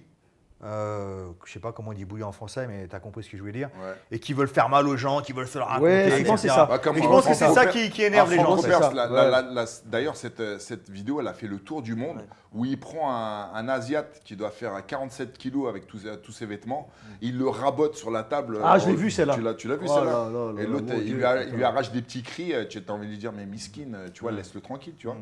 Et pendant, euh, ouais, pendant deux On minutes. dirait qu'ils il- prennent plaisir, tu sais. Il y a une, Ouais. une- une frustration. Moi, j'avais vu ça, moi. Une fois, ils montraient une technique, euh, je ne citerai pas de nom, mais euh, sur un front kick. Tu sais, euh, tu peux montrer à ton élève, tu n'es pas obligé de le défendre. Le mec, il était là tout relâché, tu sais. Ouais. Euh, lambda, tu sais. Il s'est pris un putain de front kick. euh, pleine, pleine, Parce que euh, tu as des mauvais procédants dans toutes Ah les ouais, disciplines aussi. T'en as en Muay Thai, t'en as en MMA. euh, Ouais, mais c'est les, Non, mais là, les- c'était les pas- meilleurs- les meilleurs. Alors, la différence, c'est que les meilleurs combattants, les meilleurs coachs de MMA et les meilleurs coachs de boxe thaï, ils font pas ça. Alors que les meilleurs coachs de self-défense, ils font que ça, puisqu'il y a que ça qui peuvent euh, attester de leur euh, efficacité, tu vois. Les raboter, les machins, les, les faire queener et tout ça. Ou les faux KO aussi. Genre, euh, ils font des démonstrations, ils font des. et le mec, le mec, il tombe KO. James, James Pickman, James Pickman. Et le, limite, limite, ils sont en train de convulser par terre alors que le mec il s'est pris des pichenettes. Vas-y, casse-toi de là. Toi. Ah, mais c'est vrai que ça se marie très bien. Le Krav Maga, euh, tous ces, toutes ces selfs et tout, ça se marie. Le côté euh, Sinoche, justement, ça se marie très ça. bien avec, Bah, avec ça- Internet, avec les vidéos. euh, C'est pour ça que Fre- Fred Mastro, Viral. Ouais. qui est mon préféré de, mon préféré de tous, c'est Fred Mastro. Alors pourquoi, justement Pen, Pen- Penchaxila, enfin non, c'est Ah. MDS parce qu'il a son propre style qu'il a inventé, tu vois. Ouais. Euh, le Mastro euh, Defense System, voilà, MDS, donc je lui fais de la pub en plus. Tu, tu me dois des, des sous, euh, Fred. Et donc, euh, et donc, lui, il fait, euh, il fait tout un tas de, de- de techniques euh, vraiment farfelues, tu vois. Tu, tu- si tu as des notions de combat réelles, tu vois que ça peut pas marcher, ces, ces trucs, tu vois. Et, euh, et donc, il a tout un tas d'élèves. Et à chaque fois que je vais sur Internet et que je, je parle de, de, de- ça, là, j'ai toujours, alors lui, bien plus que les autres, ces élèves qui sont euh, virulents. Donc, je me fais menacer régulièrement. D'ailleurs, j'ai des, euh, j'ai des notes vocales. J'ai des, notes vocales menace, de menaces d'un mec là récemment, là, un espèce de foufou, tu vois, il- ouais, qui me traite euh, de tous les noms, tu sais, des, des- des- des noms d'oiseaux fleuris euh, très, très mignons, tu vois. Et il me dit qu'il va venir me chercher, qu'il va me mettre une balle dans la tête. Ah ouais, et- carrément, quoi. Ouais, ouais, avec, des, avec une cagoule et tout ça. Et moi, je suis là. je suis, chaud, ouais, quand même. Et le mec, il est, il est à fond dans son truc. Et il dit, ouais, nous, on se...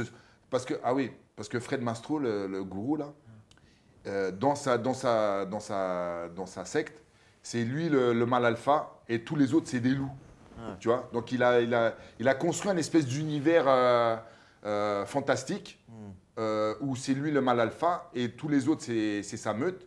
Et donc, comme ils se sentent euh, redevables, ou en tout cas, euh, ils sont en, idola, en, en, en- idolation euh, Ouais. devant. Au, au Mestré Voilà, donc ils viennent, ils viennent me casser les couilles à chaque fois.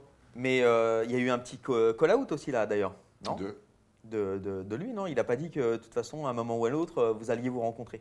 Ah oui, alors Oui, j'ai- oui, oui, oui, oui, oui, oui, Ouais, il y a eu vrai. un call-out, exactement. Ouais. Ouais, ouais, il a dit dans une, une vidéo, euh, alors sans me nommer, parce qu'ils veulent pas C'est me- du genre, il n'y a que les mon- montagnes qui se rencontrent. pas, Voilà, on va, de toute façon, on va, se ouais. euh, on va se retrouver, toi et moi, Ouais, en en privé, privé. et tout ça, Ah machin. oui. Donc, autant te dire, quand j'ai vu la, la vidéo, j'ai flippé. J'ai flippé Ouais. ma race. Ah oui, on on- Bah, j'ai tremblé. Triomètre à zéro. Mais t'as vu qu'ils ramènent moins du monde 200. quand même. Les gars, quand ils font des stages, c'est blindé leur truc.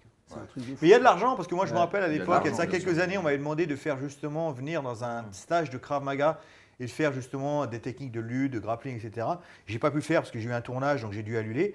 Mais euh, tout de suite, euh, la première offre, c'était un bifton que j'ai Ouais, jamais vu de ma vie pour Ouais, n'importe quel stage, en Ouais, fait, ouais, tu vois. ouais, ouais. Donc ils ont de l'argent. hein. Non, non, ils ont de l'argent et ils ramènent du monde. Et puis, tu aurais crédibilisé leur, leur truc, tu vois. Parce qu'ils se servent de ça aussi. Ça aussi, c'est un truc que je reproche à la Ouais. self-défense. C'est qu'ils essayent de prendre des noms, des figures d'autres styles qui, sont, euh, qui sont efficaces pour les ramener dans leur truc. Pour par exemple, légitimer, euh, ouais. par ouais, exemple, leur donner une crédibilité. Euh, ouais, Franck il va, il va prendre un fouet d'Esbiri, qui est un, champ- un ancien champion pied-point, qui a formé des, des- des champions. Il va le ramener. et Très tout, présent machin. sur YouTube. Ou euh. Jean-Charles Skarbowski, qui est pourtant mon, mon poteau, je l'ai vu là-dedans. J'ai fait, ah, putain. Ah ouais, j'ai vu, j'ai vu, j'ai vu. Et, et donc, ils essaient de, de gratter de la crédibilité euh, auprès des autres, tu vois. Et puis, euh, et puis c'est toujours la même démonstration, c'est son fameux low kick euh, Penchaxila, où il met un low kick sur un mec qui a froid, qui est relâché. Bah oui, porté au poteau, tu vas ça prendre fait un mal. coup de tibia. Ah bah, ça s'appelle une béquille à Ouais, l'école. ouais, Quand ça tu es à fait mal. l'école, euh, ça fait mal à n'importe qui, peu importe qui t'es. Donc, euh, c'est ça aussi que je leur reproche, c'est qu'ils essaient de, de, de dénigrer d'autres styles, ou en tout cas de. Pas dénigrer, mais en tout cas de, de, ouais, de gratter de la, de la crédibilité, en fait. Bah là, ils se servent euh, ouais, de, de, de la notoriété ou de la de, de l'efficacité, enfin de la réalité d'autres styles pour euh, Ouais. récupérer, récupérer. Ouais, moi, je joue pas à ces jeux-là. C'est Louis qui veut commencer à me dire Tiens, on fait une vidéo, tu veux que je te fasse une technique? Je le regarde dans les yeux et je fais Non. Ouais. Mes copains, ils me font rigoler parce qu'à chaque fois qu'ils me disent on voit, son- on voit ton regard quand tu dis Non. Non, Et on va arriver. Et dans le cinéma, c'est pareil. hein. Des fois, il y en a des Tu avoir pas mal les machins, cinéma, ah ouais. les producteurs, ils commencent à dire tadada, tadada, tadada. Je les regarde dans les yeux et je fais Non. non, ça va passer. Et voilà, c'est terminé. T'as souvent ça, ouais? Ah, Surtout dans le cinéma. hein, Ouais, c'est, ouais. euh, ah, les mecs, euh, c'est des rigolos. hein. Ouais. Alors, Bah, c'est du cinéma hein, à la base, donc les mecs, euh, voilà quoi. alors actuellement, tu as, tourné quoi? Comment justement, on n'a pas parlé de ça, mais ton, ton incursion? Parce que là, aujourd'hui, tu es acteur, Ouais. cascadeur. D'accord, c'est ça Je me deux considère pas vraiment comme cascadeur euh, parce que je suis un acteur qui sait faire ses cascades. Et donc Mm. on m'appelle parfois pour faire des rôles plus ou moins gros. Mais voilà, on sait que Lionel sait faire la baston, donc il va faire sa baston lui-même. quoi. Mais je saute pas d'un building, je me fais pas percuter par des voitures, je fais pas toutes ces choses-là en fait. Moi, généralement, lorsqu'il m'appelle, il y a quand même un espèce de rôle ou un personnage à jouer. D'accord. Et alors, pour préciser à tous les, tous les Français qui veulent être acteurs, qui veulent. Parce qu'il y en a beaucoup quand même, même euh, Ouais. dans les milieux des sports de combat, tu te rends compte qu'il y a cette fascination. Tu as la fascination pour le, le combat, mais tu as la fascination évidemment pour Hollywood et Le compagnie. cinéma. Voilà. j'en ai fait, j'en ai, fait un peu aussi de la, la cascade. Ah ouais, Ouais. La cascade, ouais. Mais toi, tu as pu te, te reconvertir comme ça parce que tu es anglophone. Ouais, puis On est d'accord. J'ai sucé comme un malade. Quoi. Enfin, oui, aussi, bon, comme tu as il une double quoi. qualité. ouais. C'est ça, il il faut pas se leurrer non plus. Quoi. Euh, Mais c'est le but de. Enfin, l'émission, de toute façon, c'est le thème un peu. hein. En fait, j'ai, moi, je voulais pas être reconnu en tant que. Moi, je cachais le fait que j'étais combattant de MMA en fait. Ah, Donc c'est sûr, il voit y aller avec ta gueule et tes étiquettes, euh, tout de suite, il le voit tout de suite. Mais moi, je voulais être pris au sérieux en tant qu'acteur, quoi. Hmm. Et tous les trucs que je voulais faire, je voulais pas faire de bagarre. Donc j'ai fait un peu de cascade à tous mes débuts. J'ai fait Thor, j'ai Ah, fait ouais. euh, le Blanchet et le chasseur, tu vois. Mais j'ai mis ça sur le côté. Puis j'ai commencé à enchaîner quelques rôles, travailler avec des réalisateurs plus ou moins connus, etc. Et puis à un moment, ça s'est arrêté. J'ai fait mon premier co-rôle principal dans Night Fair où je suis le méchant principal. Je me suis dit bon là, ça va démarrer. Et pendant deux ans, rien du tout, quoi. Et puis à un moment, bon, je me suis dit, en fait, je me tire dans le pied. Tout le monde m'a dit, si tu deviens cascadeur, les gens ne te prendront pas au sérieux en tant qu'acteur. Mais je me suis dit, de toute façon, ils ne me prennent pas au sérieux. C'est un milieu de privilégiés, il y a un plafond de verre. De toute façon, tu ne peux pas passer. Donc autant que je fasse de la cascade. Et en tous les cas, ce que je considère, tu vois, faire euh, acteur-action. Et quand j'ai commencé à faire ça, ça m'a ouvert plein de portes. Ça m'a ouvert plein de portes, c'est là que j'ai eu plein d'opportunités. Où des fois on me dit Bon, Lionel, viens, on veut te mettre sur cette scène, tu as une scène de bagarre. Et puis au bout du compte, il n'y a plus de bagarre. Comme un truc avec Vincent Cassel que j'ai fait euh, l'année dernière. J'ai fait Ah, une série qui s'appelle euh, Liaison. Et normalement, je vais faire une baston avec lui. C'est pour ça qu'ils m'ont fait venir. Ouais. Et Vincent, il m'a regardé, mais il fait Mais je peux pas battre ce mec-là en fait, ça n'a pas de sens. Mon personnage ne peut pas se battre ce mec-là. Mm. Et donc, ils ont pris des lignes de dialogue de l'autre gars et machin. Ils ont, et hop, j'ai en fait, j'ai qu'une scène de dialogue avec lui quoi. Euh, là, j'ai fait un film avec Kevin Parce que, Hart. attends, juste parce qu'il n'a pas voulu faire une scène. Une scène C'est pas qu'il a pas voulu, c'est qu'il pensait que c'était pas crédible que son personnage qui joue casse la gueule à un mec comme moi en fait. D'accord. Et c'est un choix, euh, C'est un choix, pourquoi rôle. pas Parce que en Ouais. fait, lui, c'est plus un, agent pas- secret en fait, tu vois, c'est pas, c'est pas Jason Bond. D'ailleurs, j'étais Ouais, j'étais surpris de. Je dis, ah, c'est mon poteau Je le vois arriver avec sa. Parce que t'es supposé être un Ruskov. Ouais, je suis un Russe, ouais. ouais. Exactement. Je joue souvent les Russes. Ah ouais? Ouais, ouais. Bah là, j'ai un film qui sort aujourd'hui euh, euh, qui s'appelle One Ranger avec un acteur qui s'appelle Thomas Jane et je suis euh, l'un des antagonistes principaux et je suis ukrainien, donc j'ai un accent ukrainien euh, Ah pendant ouais, tout le film. en Et fait. Est-ce que c'est bien payé? En fait, très sincèrement, oui et non, tout dépend des, des boulots. Je gagne plus ma vie avec les cascadeurs, mieux, qu'en Ah ouais. tant qu'acteur. Je vais dire un exemple. Admettons que tu as besoin d'un petit second rôle, un mec qui fait le portier, qui va lancer trois lignes de dialogue. Euh, ils vont me faire venir pendant deux jours. Donc là, le jour où ils vont filmer les acteurs, où tu me vois en arrière-plan, et le jour où je vais balancer ma ligne de dialogue, point barre, ça s'arrête là. Maintenant, l'acteur rentre à l'intérieur et le matin, il se péta avec trois videurs. Ces trois videurs-là, ils ont fait une semaine de répétition. Ils étaient là le jour J aussi parce qu'ils sont en arrière-plan. Et ils ont une autre semaine de tournage avec l'acteur principal, avec la doublure, etc. Donc moi, je travaille deux jours, eux, ils vont travailler 15 jours. Donc rien que pour ça, déjà, bah ouais, Ah tu- ouais, d'accord. ils vont travailler plus que moi. Et, et payé à peu près pareil à Et les tarots, des fois, sont mieux. Là, je viens d'être Ah appelé ouais. pour une série euh, coproduite par Canal+, Alors, a priori, il y a un des producteurs. Le Real m'aime bien, mais un producteur, il n'est pas trop chaud pour moi. Il trouve toujours une excuse pour pas me prendre. Je suis trop vieux, non, je veux un anglais, etc. Mais bref. Et là, euh, disons les choses comme ça, ils sont quoi. On m'a proposé euh, 700 livres par jour, plus euh, 20% parce que après, tu as les. euh, tu vois, euh, buy-out, ce qu'on appelle, donc tu vois, qui vont remontrer au cinéma, donc 20% de plus. Euh, et puis euh, voilà, euh, pour euh, les allers-viens, parce qu'il faut que j'aille au Pays de Galles, etc. Donc voilà. Donc ça paye plutôt pas mal. C'est pas mal. hein, Donc ça même, fait hein. 850 balles par jour. en- Ouais, Ouais, c'est Ouais. pas mal. hein. Là, j'ai fait un film avec Jamie Foxx en début d'année. J'ai travaillé trois semaines de nuit et j'ai fait entre euh, 20 et 30 000 euh, euros. Ah ouais, quand même. hein. Ah ouais. Mais tournage de nuit, donc tu es payé Ouais. un jour et demi, euh, beaucoup d'heures supplémentaires. À un moment, j'étais mis en feu, donc tu as un petit bonus pour ça, etc. Quoi. Tandis qu'acteur, le plus que j'ai jamais été payé acteur, c'était euh, 2000 jours. Donc euh, sinon, ça tourne entre les euh, 800, 600, 800, 1000, euh, 1100. C'est sur voilà. quoi 2000 euh, Euh, Un truc sur HBO. Et des fois, tu dois avoir des, des sacrés têtes à claque non? Ouais. Ouais. Mais après, à un moment, tu t'y fais en fait. Ouais. Les acteurs, euh, tu, tu comprends que c'est leur métier, ils ont une vie aussi, euh, ils sont peut-être pas contents d'être là. Des fois, ils font des films qu'ils aiment pas. Euh, par exemple, Jean Reno, quand j'ai fait Antigan avec lui, j'avais pas l'impression qu'il était très très content d'être là en fait. Après, lorsque le film est sorti, il était content, mais il n'était pas sûr du réel au début. Euh, donc voilà, tu as des expériences comme ça. Jean Reno, ça doit être peut-être l'acteur le plus compliqué. quoi. C'est-à-dire que j'ai travaillé avec des grandes superstars, euh, Dwayne Johnson, euh, Jason Statham, euh, euh, Vin Diesel, ce que tu veux, euh, même des actrices oscarisées.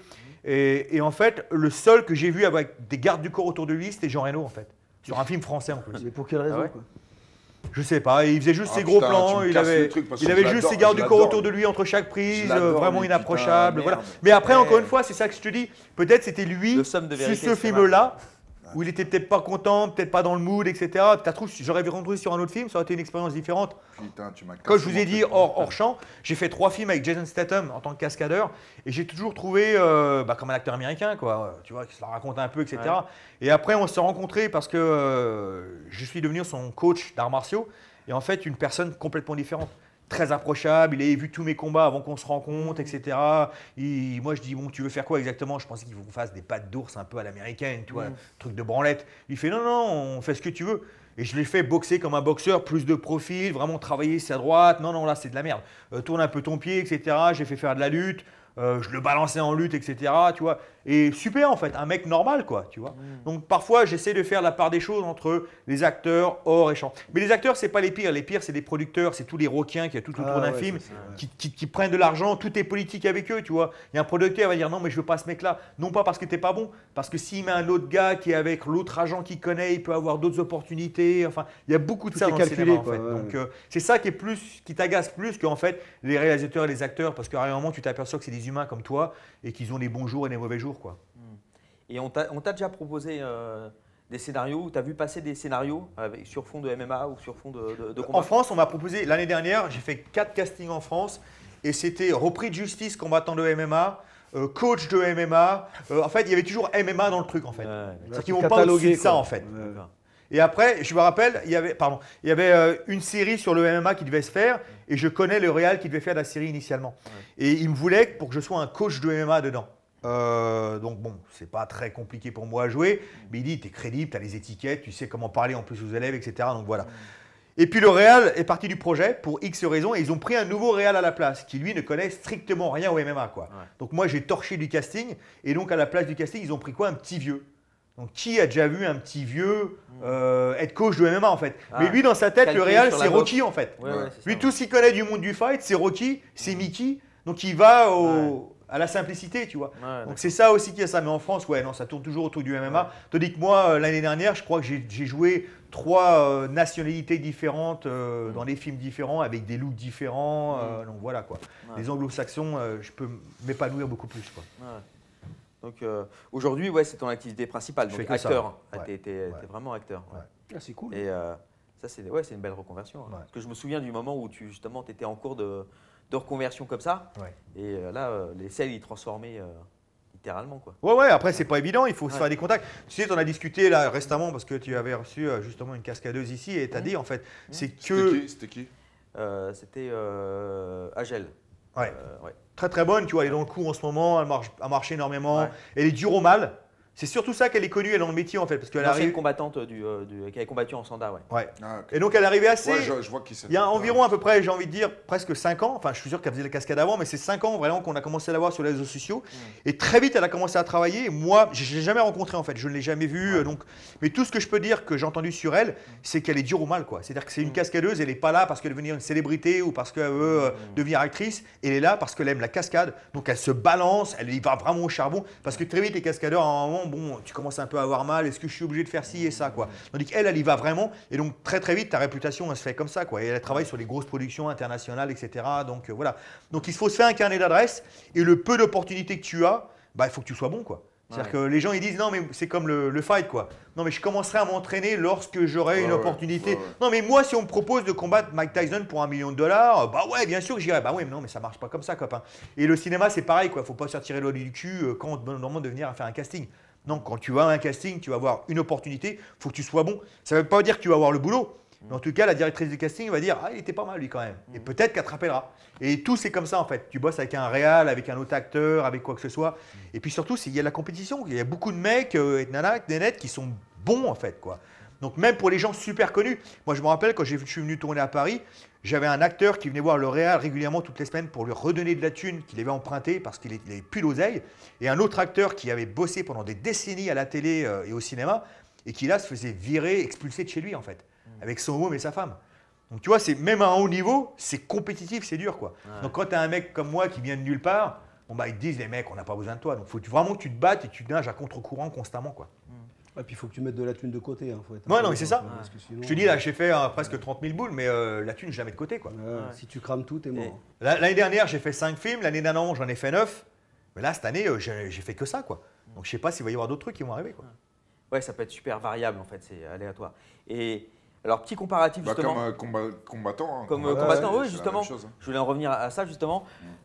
Pour comparer tes cachets de combattants, parce qu'en plus, toi, tu es d'une époque, euh, c'est c'est à l'ancienne, tu es d'une époque où l'UFC, euh, les premiers, euh, ton premier combat à l'UFC, combien? 3 et 3. 3-3, c'est ça, c'était l'époque. euh, Ça, ça a duré longtemps cette époque. hein. Ouais. Ça a duré très Alors 3000, longtemps. 3000 euh, donc c'était 3000 dollars. Ouais, Ouais. 3000 dollars. 3000 dollars En pour plus, le si combat. tu combats là-bas, ils te taxent. Hein. Oui. Et tu retaxes quand tu reviens et ici. te ouais. Et Donc- 3000 pour la, pour, la, pour la victoire. Donc Voilà, au mieux, donc- tu gagnes 6000. Tu rentres chez Et- toi concrètement, Ouais. tu rentres chez toi avec 2000, euh, 2000 euros. Ça. Tu vois, as gagné, si tu as gagné ton combat, tu as gagné 6000 dollars, tu rentres chez toi avec 2000 euros.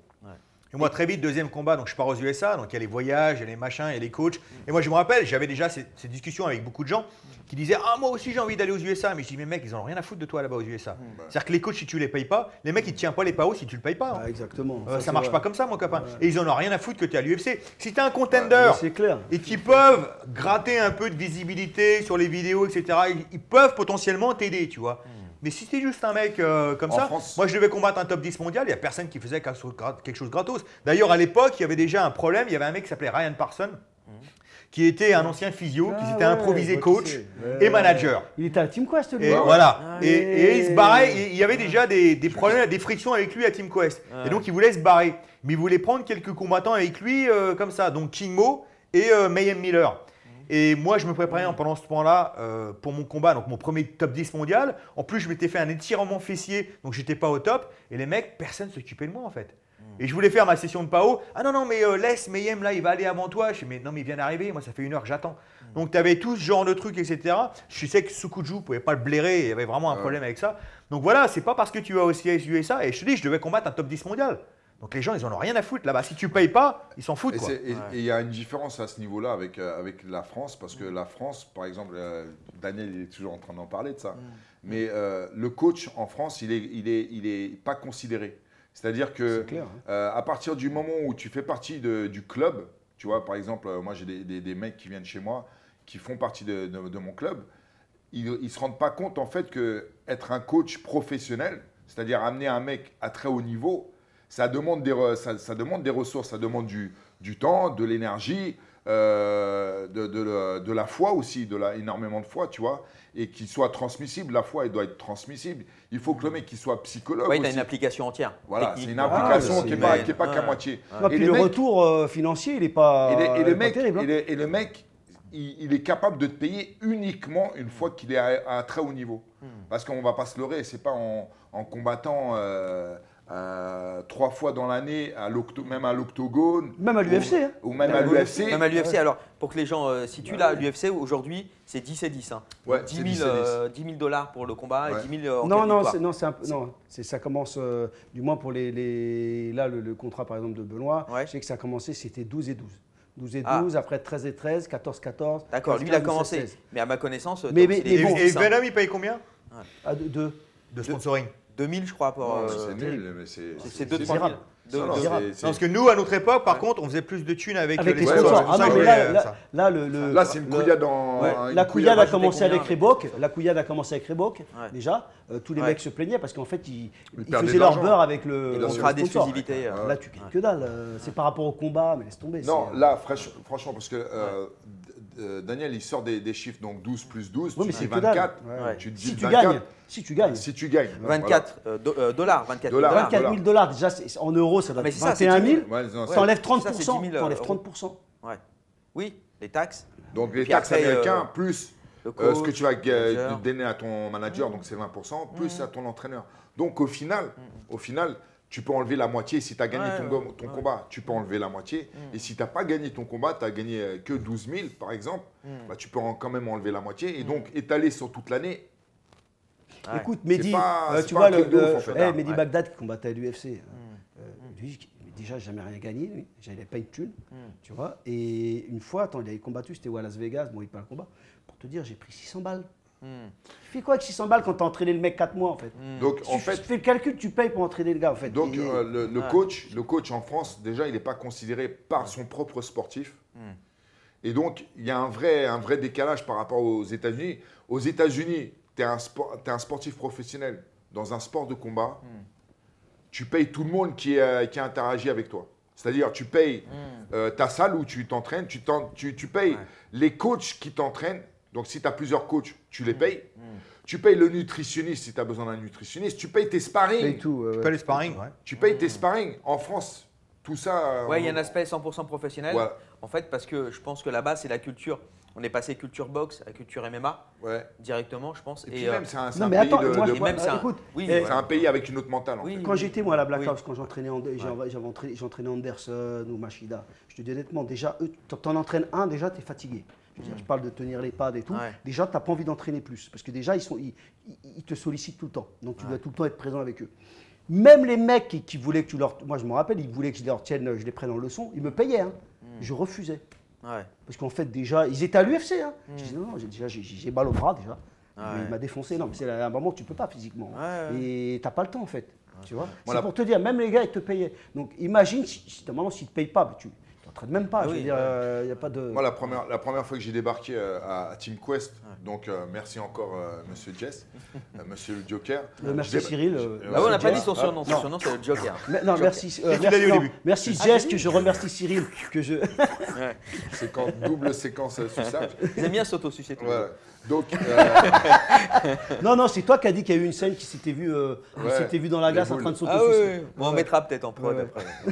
euh, euh, ouais, je débarque aux, États-Unis.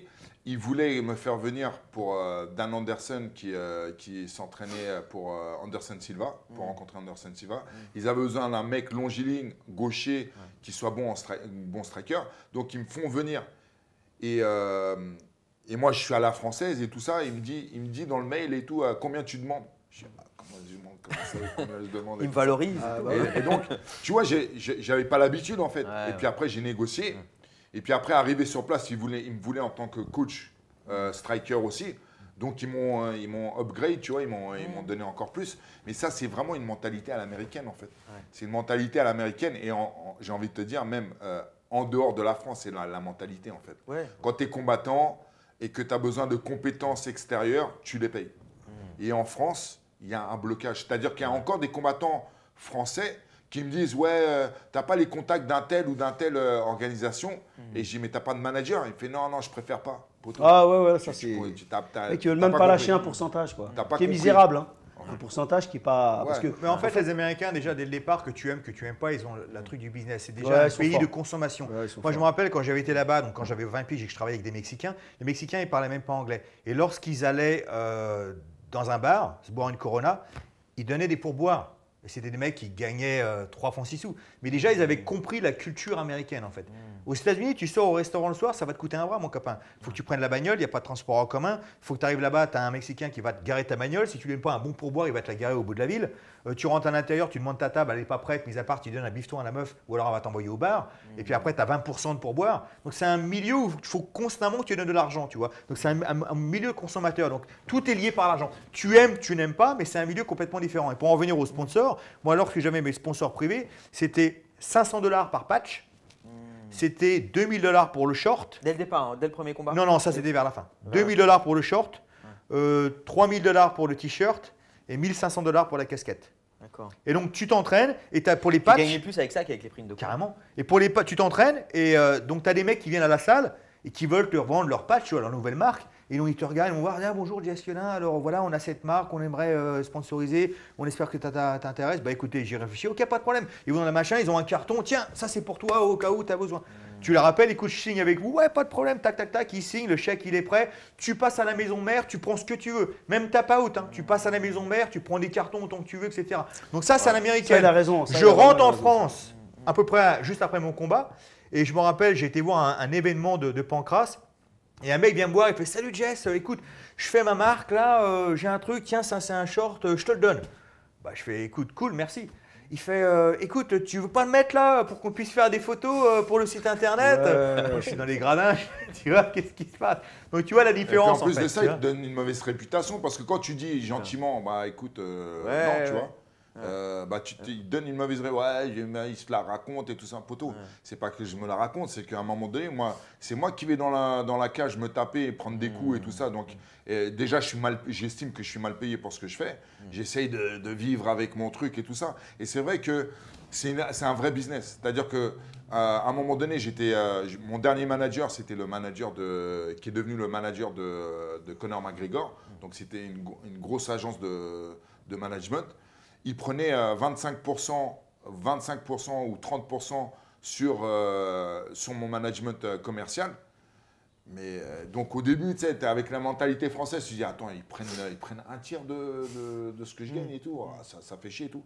Mais sauf que c'est eux qui vont chercher les, les marques. C'est, ah, j'aurais jamais touché, tu vois. Ils ont déjà tout un portefeuille de marques. Et en plus, voilà, et ils, ont- ils vont, ils vont ouais. voir les marques, ils disent voilà, j'ai tel combattant en ce moment avec nous et tout ça, machin. Il est prometteur, il est ceci, il est cela, et tu sais, ils te gonflent et tout ça. Ils te vendent auprès de cette marque.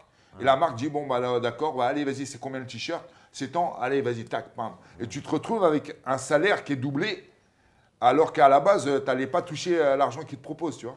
Et en plus de ça, ils parlent le même langage. Tu vois, dans le cinéma, c'est la même Ah. chose. Je me rappelle que moi, dans le cinéma, une production en France m'avait contacté pour un film avec Omar Sy. Et il me disait, écoute, le réal t'aime bien, il veut pour le rôle.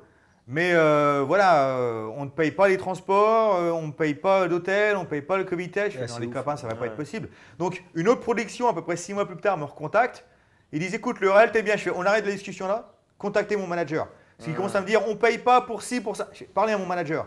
Mon manager, il est au téléphone, il a fait, il est 2000 jours, il faut payer un l'Eurostar, et Ouais. c'est un 5 étoiles à chaque fois qu'il vient, et ils ont dit oui à tout. Pourquoi? Parce qu'ils parlent le même langage, Voilà. c'est au même niveau. Ouais. Donc des fois, même toi, tu essayes de toi rendre... faire ça, faut- tu te parasites en plus. tu perds regarde, temps, regarde quand et ça je l'ai dit à je sais pas combien de combattants français Ouais. qui comprenaient pas, ouais mais je préfère garder mes, mes 20% poteau.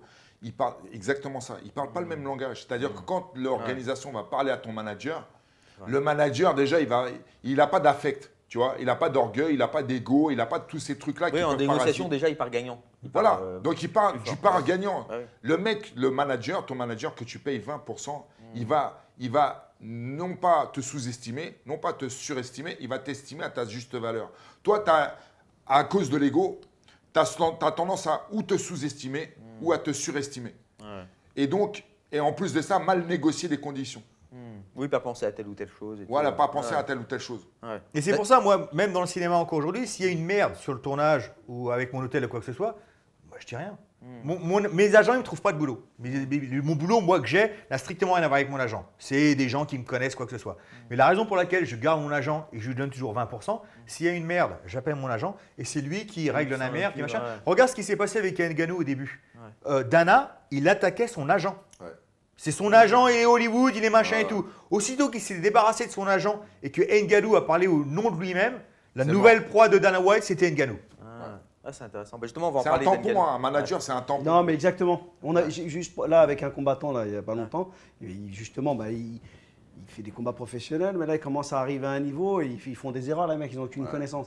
Et euh, il me dit ouais, j'ai mis ça comme marque, j'ai mis ça. En fait, il n'y en a pas un qui l'a payé presque. Je lui dis mais tu peux pas faire ça. Je lui dis déjà, tu as une équipe. Un en- euh, vois, vois avec le manager, le manager va négocier pour toi. et il y a un autre Mais truc. euh, Il y, y a un autre aussi, c'est un confort. Tu payes 20, 20% mais de confort et d'opportunité. Mmh. C'est-à-dire que tu es à une semaine de ton combat. Toi, tu es focalisé sur ton combat. Tu t'en bats les couilles de savoir telle ou telle marque, combien ils proposent et tout ça, machin. Mais si tu n'as pas de manager et que la marque qui bosse avec toi a un problème sur telle ou telle chose, ils vont pas t'appeler ton manager, ils vont t'appeler toi. Et tu as une semaine du combat, tu es dans Fight Ouais, c'est Week, compliqué. ouais. machin. Tu pas envie de te prendre la tête avec une marque euh, lambda. euh, Mais, mais même pas que pour ça, tu sais, moi ce que je faisais, et même je fais ça avec mes combattants, tu sais, même pour les, les médias par exemple. Hmm. Tu vois, euh, je faisais beaucoup ça avec Machida, parce que Machida c'était un mec sympa, et il disait oui à tout, tu vois. Et je lui dis à Machida, c'est ce que tu fais, tu me les envoies à moi, parce que moi j'en ai rien à foutre en fait. Le mec qui vient me voir, je lui dis non, tu vois, il n'y a pas d'a- il y a pas d'affect, tu vois. Et c'est pareil avec mes combattants pour tout ce qui est médias, quand il y avait l'UFC Paris, là, euh, c'était l'enfer, il y avait des médias de partout. Je dis à Benoît, tu me les, tu, si, si tu peux pas, si, si, tu n'arrives pas à refuser, parce que même un copain ou n'importe, tu me les envoies à moi, moi je m'en fous en fait, tu vois. Et en fait, on tranche dans le. Ouais, faut dans le- décharger au Et maximum. ouais, il faut, voilà, il faut, Faut un quelqu'un, tampon, un il faut un tampon. sinon Ouais. tu peux pas gérer. Je veux dire, t'es combattant, faut que tu combattes. Et hein, la façon. mentalité française, quand tu es combattant, c'est j'essaye de squeezer le mec qui prend, euh, Ouais. à mon sens, Des petites la- économies, la- l'argent l'argent qui ne mérite pas, parce que c'est moi qui me tape dans, dans- dans la cage, c'est le manager. Ils essaient de se débarrasser du manager. Alors que le mec, il va te permettre de mieux performer et d'être mieux payé que si tu étais... Non, puis même, regarde les papiers, tu as vu l'UFC, les papiers qu'ils te demandent. Les examens médicaux, Ah ouais. les trucs comme ça. Je veux dire, tu vois le fighter gérer ça, ou même le coach, c'est ingérable. T'as pas envie. Tu te concentres sur ton. tout. sur- sur- Après, sur- c'est bien quand même de garder un œil dessus parce que moi, quand j'ai arrêté Ouais, l'UFC, ouais. Ça servait à- les managers sont plus intéressés de toi quand tu es en dehors de l'UFC, tu vois. Enfin, en tous Oui, les cas, pour clair. les marques, les marques sont plus intéressées de te sponsoriser quand tu es en dehors de l'UFC. c'est clair. Surtout, je travaillais, dans- je combattais dans les plus petits événements. Donc moi, j'avais compris comment ils marchaient et moi, je me m'occupais de moi-même en fait. Et je m'étais toujours trouvé des sponsors en dehors. L'un de mes premiers sponsors, c'était Ed Hardy. Une espèce de marque hors prix pour les barbeaux de l'époque, avec des couleurs à n'en plus finir. Mais j'avais réussi à être sponsorisé par eux. Ils m'avaient donné un bon bifton. Et du Ed Hardy à n'en plus finir, c'était dégueulasse, c'était moche, mais t'avais des polos à 250 balles, c'était un truc de ouf, tu vois. J'ai refourgué à droite à gauche. Et donc j'avais réussi à avoir plein, une marque de jeans, euh, plein de trucs comme ça. D'ailleurs, c'est un autre truc. À à un moment, j'avais réussi à être sponsorisé par Bullrot. Bullrot faisait un comeback et euh, Marque française. une barre française. Et quoi euh, C'était une marque marque à l'époque du hip-hop. streetwear, euh, streetwear. Ah, streetwear, Début ouais. 2000, fin 90. Ouais, ouais, euh, c'est ça, T'avais à l'époque euh, NTM qui avait fait leur marque. Et eux, au Bullrot, avaient une Ça marque aussi. Et leur jumper était plutôt pas mal, de bonne Ouais. qualité, et ça coûtait la peau du cul à l'époque. Et eux, ils faisaient un comeback et se lançaient dans le MMA. Et j'avais réussi à les avoir en tant que sponsor. Et un autre combattant français les avait contactés en disant Pourquoi vous sponsorisez Jess Euh, J'ai plus de combats que lui, etc. etc. Ah ouais Donc, j'en dirai pas plus. Ah, vas-y, Ah, donne les on veut des noms, Eh, on veut des noms, on veut des noms. Initiales, t'es obligé. Donne au moins les initiales. Un petit... On va faire un jeu concours là-dessus. Initiales. non, c'est les initiales. les initiales, les initiales où il a combattu et quand il a carrière. Et en, et en même temps, j'ai jamais confronté, parce que bon, après, moi, je m'en bats les couilles, tu vois, donc j'ai jamais confronté le combattant lui-même. Ouais. Et c'est un combattant que j'apprécie en plus. Donc c'est pour ça que je l'ai jamais euh, vraiment confronté lui, Ouais. de savoir ce qu'il en était. Bouh, on Un veut petit les peu noms, déçu, là. nous. Et tu le connais très bien. Ouh là là Ah, Allez, indice. C'est c'est pas Cyril Bonne quand même. connaissance merde. Ouais. Bullrot, Bullrot. Ah, j'en ai eu un qui, qui était chez Bullrot. C'est qui? Ah non Je dis pas que c'est Donne lui. les noms. Vas-y, bah toi. c'est pas son style. Hein Bah, a priori, si. C'est le mec qui m'a dit que c'est Xavier qui lui avait dit ça après. ouais. Ah ouais? Je sais pas si c'est vrai. Et je te dis, Ah. euh, vu que j'ai bien Xavier, j'ai Ah, jamais voulu ah, rentrer dans une confrontation pour rien. Moi, c'est un vieux. C'est Ah, des Ah. Oh. Merde, j'aurais dû pas insister alors. merde. L'arroseur a arrosé. Ah, je-. Mais je me rappelle de Xavier. Moi, tu sais, quand j'étais venu dans ton club à l'époque, ouais, et c'est j'avais tourné un petit peu avec Ouais, Xavier. Il était d'ailleurs tout ch'ti à l'époque. Ouais, Enfin, ouais, tu vois, il, était, Ouais, ouais. il avait déjà des combats à l'époque. Il avait, pas eu, il avait eu des Si, combats. si, si, l'époque il avait des. Il avait déjà eu des combats Je. Il était déjà à 84 kilos. Ouais, Non, il était un peu plus léger. parce que je me rappelle, il était tout petit, quoi, Ouais, il était par rapport à. Ouais, ouais. Ce qu'il est devenu. ouais. Ouais. Il a quel âge? Il a quel âge? Ouais, il est arrivé chez moi, il avait 17 ans, tu vois. Ouais, ouais. Ouais, Ah ouais. donc il était tout jeune. Ah ouais. Ah, c'est marrant. Comme quoi. Ouais. Voilà. Attends, on n'a qu'un son de cloche. On a qu'un Oui, son de oui. cloche. On va faire- à la prochaine fois, on fait On va faire venir Oui. Xavier. Allez. Droit de réponse et puis en plus, euh, C'est vrai que t'as as été méchant Jess. Ça va être sympa. Mais tout ça pour en revenir à ce que je disais, c'est vrai que c'est mieux de le laisser à un manager, mais c'est bien, de toute façon, tous les côtés du business, en tant que combattant, quand même, de garder un œil Bien dessus, sûr, de sûr. savoir ce qu'il en est. Ouais. Conor McGregor, il, il doit pas tout à son manager. C'est-à-dire que Conor McGregor, il a fait beaucoup aussi. Ouais. Il sait comment ça marche, il sait comme ça. Conor, c'est quand même un, un- un spécimen en tant que tel, hein, que ce soit au niveau technique, Ah, il est fort. que ce soit au niveau mental, que ce soit au niveau Charisme, du business. euh, machin, Je pense qu'il n'y en aura jamais un autre comme lui. Il est Ouais. vraiment unique dans son genre. hein. Bah, il avait vraiment fait On a beau à remettre en question, c'est vrai qu'il a eu des bons au bon moment, etc. Mais quand même, ça reste un, un- un athlète extraordinaire. Ouais. Ouais, on est d'accord. Et Et puis plus que attends, ça. il s'est- tapé des, des, des sacrés lascars quand même. hein. Ah, le KO de José en Aldo, 66, euh, franchement, il était imprenable à, époque- à Ouais, l'époque. hein, quand- hein. quand tu t'es Surtout tapé qu'il a fait des Alvarez combats. comme il se l'est tapé. euh, Il a fait des combats Poirier, blessés, hein, comme il se euh, l'est tapé, plus. tout ça, Ouais. machin. Ouais. attends. Aldo, comme il se l'est tapé. Ouais. euh, Mais même- tu Mais sais, il je avait- trouve- je trouve et la c'était l'ensemble, c'était l'ensemble, c'était le package, c'était le Ouais. personnage. Ouais, ouais, il y avait tout. Ce qu'il disait, il Ouais. le faisait, ou alors en tout cas, il s'en servait ouais. de façon prédit- il stratégique. prédisait euh, son, son truc. C'était, ouais, ouais. Mais justement, en parlant de Connor et en parlant de l'UFC, et c'est là qu'on peut partir, je fais un peu ton boulot. hein. Ouais. Euh, Vas-y, hein. euh. Moi. L'UFC, ce que les gens ne réalisent pas, c'est que oui, en effet, Connor avait la machine UFC derrière lui, Ouais. euh, de promotionnel. Mais pour chaque Connor, il y a eu aussi les Sage Northcutt. Tu vois, pour qui ils ont mis euh, beaucoup d'argent derrière Ouais. et pour qui ça n'a pas marché? Roger Huerta, enfin bref, Ouais, il y en a pour qui ça n'a pas vrai. marché. Mais on ne peut pas dénier le fait que euh, l'UFC ont un pouvoir de frappe énorme médiatique. Ah oui. S'ils sont derrière toi, c'est la même chose. Et justement, on va revenir à, à Francis, parce que je pense que c'est un, un- un- un sujet intéressant. Parce que Francis est Francis, bien entendu, parce qu'il gagnait, parce qu'il est fort, parce que ceci, cela. Mais il y avait aussi le pouvoir médiatique de l'UFC derrière. C'est-à-dire que Francis était une star aussi parce que l'UFC dépensait des millions de dollars derrière à le promouvoir, le mettre sur les posters, l'envoyer sur les prime time et tout ce qui s'ensuit, tu vois. Maintenant, euh, tous les trois semaines, il est chez Ariel Arwani. C'est pas du tout le même timing, tu vois ce que je veux dire? Au niveau, quand tu essaies de vouloir des 30 millions de dollars par combat, ça va être difficile de négocier, tu vois. Ouais, Donc je me demande euh, justement. Sa hype, elle est un peu descendue. C'est ça que moi je me Euh, demande, je me pose la question justement des choix qu'il a fait, parce que encore une fois, on a l'air d'oublier justement le pouvoir de force que l'UFC au niveau de médias Ouais. et à quel point justement ça peut te mettre là.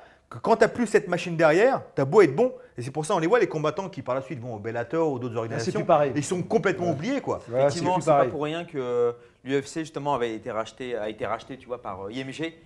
Euh, et euh, au départ, c'est des, euh, euh, c'est eux qui gèrent les, les carrières, tu vois, de Hollywood et compagnie, quoi. Ouais, ouais. Parce que pas pour le boulot que de l'UFC, euh, c'est ça. C'est pas pour rien que quand tu es à l'UFC, tu arrives à avoir des sponsors de malades. Ouais, ouais. Euh, Oui. Je veux dire, Ouais, pas en- à l'intérieur de la cage, mais à, l'extérieur. Je veux dire, euh, dans les autorgas. Et dès le départ, euh, Dana White avait bien dit, euh, dès qu'il avait recruté euh, euh, Connor, qui, qui venait du Cage Warriors, il avait bien dit, euh, ce petit gars, il a un bon petit potentiel. Bah ouais, Donc, parce qu'il euh, Et le- je pense même, je sais pas ce que la vous en, recette. je sais pas ce que vous en, en pensez, mais je pense même qu'il y a- c'est possible qu'il y ait des, c'est mon côté complotiste, Oh là hein, là, y a des scripts, Qu'il y a des scripts de, des mecs. Non non mais regarde, tu regardes, regarde. Aldo, tu regardes, tu regardes le coup d'Aldo avec la, son vol de ceinture. C'est une des plus belles gros, grosses scènes de l'UFC, on est d'accord. Oh là là, il va nous partir dans, du combat truqué. Il s'est jeté sur la droite. Oh. Bon, bah, Salut les gars. Prends une gorgée, ça va aller. Vas-y, Tu me un. désolidarise euh, complètement. Non, le moment où il, il- donc, euh, où il prend la ceinture d'Aldo. Tu vois, Dana White, il, il- carrément, il retient, il retient Aldo pour pas qu'il il récupère la ceinture. Ouais. Tu vois qu'il c'est un coup monté, euh, tu vois, euh, magistral. Et, et même au, au niveau, euh, au niveau psychologique, ça, ça impacte, tu vois, forcément l'adversaire. Je sais pas, tu te mets à la place d'Aldo, tu te rends compte que l'organisation, elle est. euh, Oui, bien sûr, mais regarde, euh, le dernier, tu peux dire la même chose sur le dernier combat de Max Holloway. hein. Tu vois que, que Dana, il a en mal en fait. Il voulait que le petit Ouais. là, il se fasse les dents sur Max Holloway Ouais. et qu'il qu'il vienne euh, le nouveau truc. Non, Bien sûr, lui, c'est un promoteur. hein. Ce qu'il veut, lui, c'est former. penses qu'il y a des histoires de combat truqués Non, non, non, je crois pas du tout à ça. Là. Ah ouais, jamais, ouais.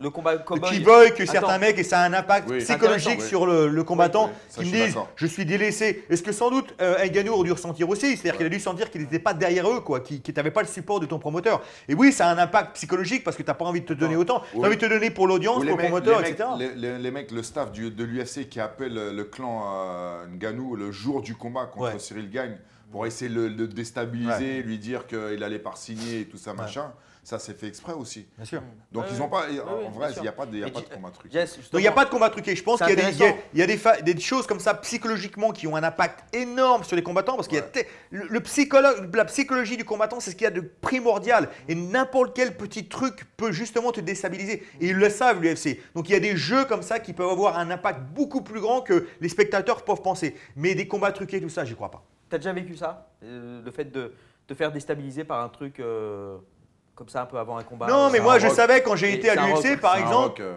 Non, mais je savais quand j'avais l'UFC que le but du jeu c'était de faire gagner Denis Siever parce qu'ils avaient déjà booké un événement en combat Allemagne. ouais. Denis Siever était euh, classé top européen à l'époque. Euh, il pliait tout le monde. Donc ils ont dit bon l'autre ça va, il a une victoire sur deux, il va être un amuse-bouche quoi. Euh, tandis que moi je suis arrivé à la pesée, j'ai vu que Denis Siever il faisait caca dans sa culotte déjà, je le voyais. Il avait jamais fait un grand événement comme ça. Moi j'ai fait X Cage Rage, je voyais déjà qu'à la pesée, dans les yeux tu sentais qu'il était déjà déstabilisé. Je fais l'histoire elle est dans la poche.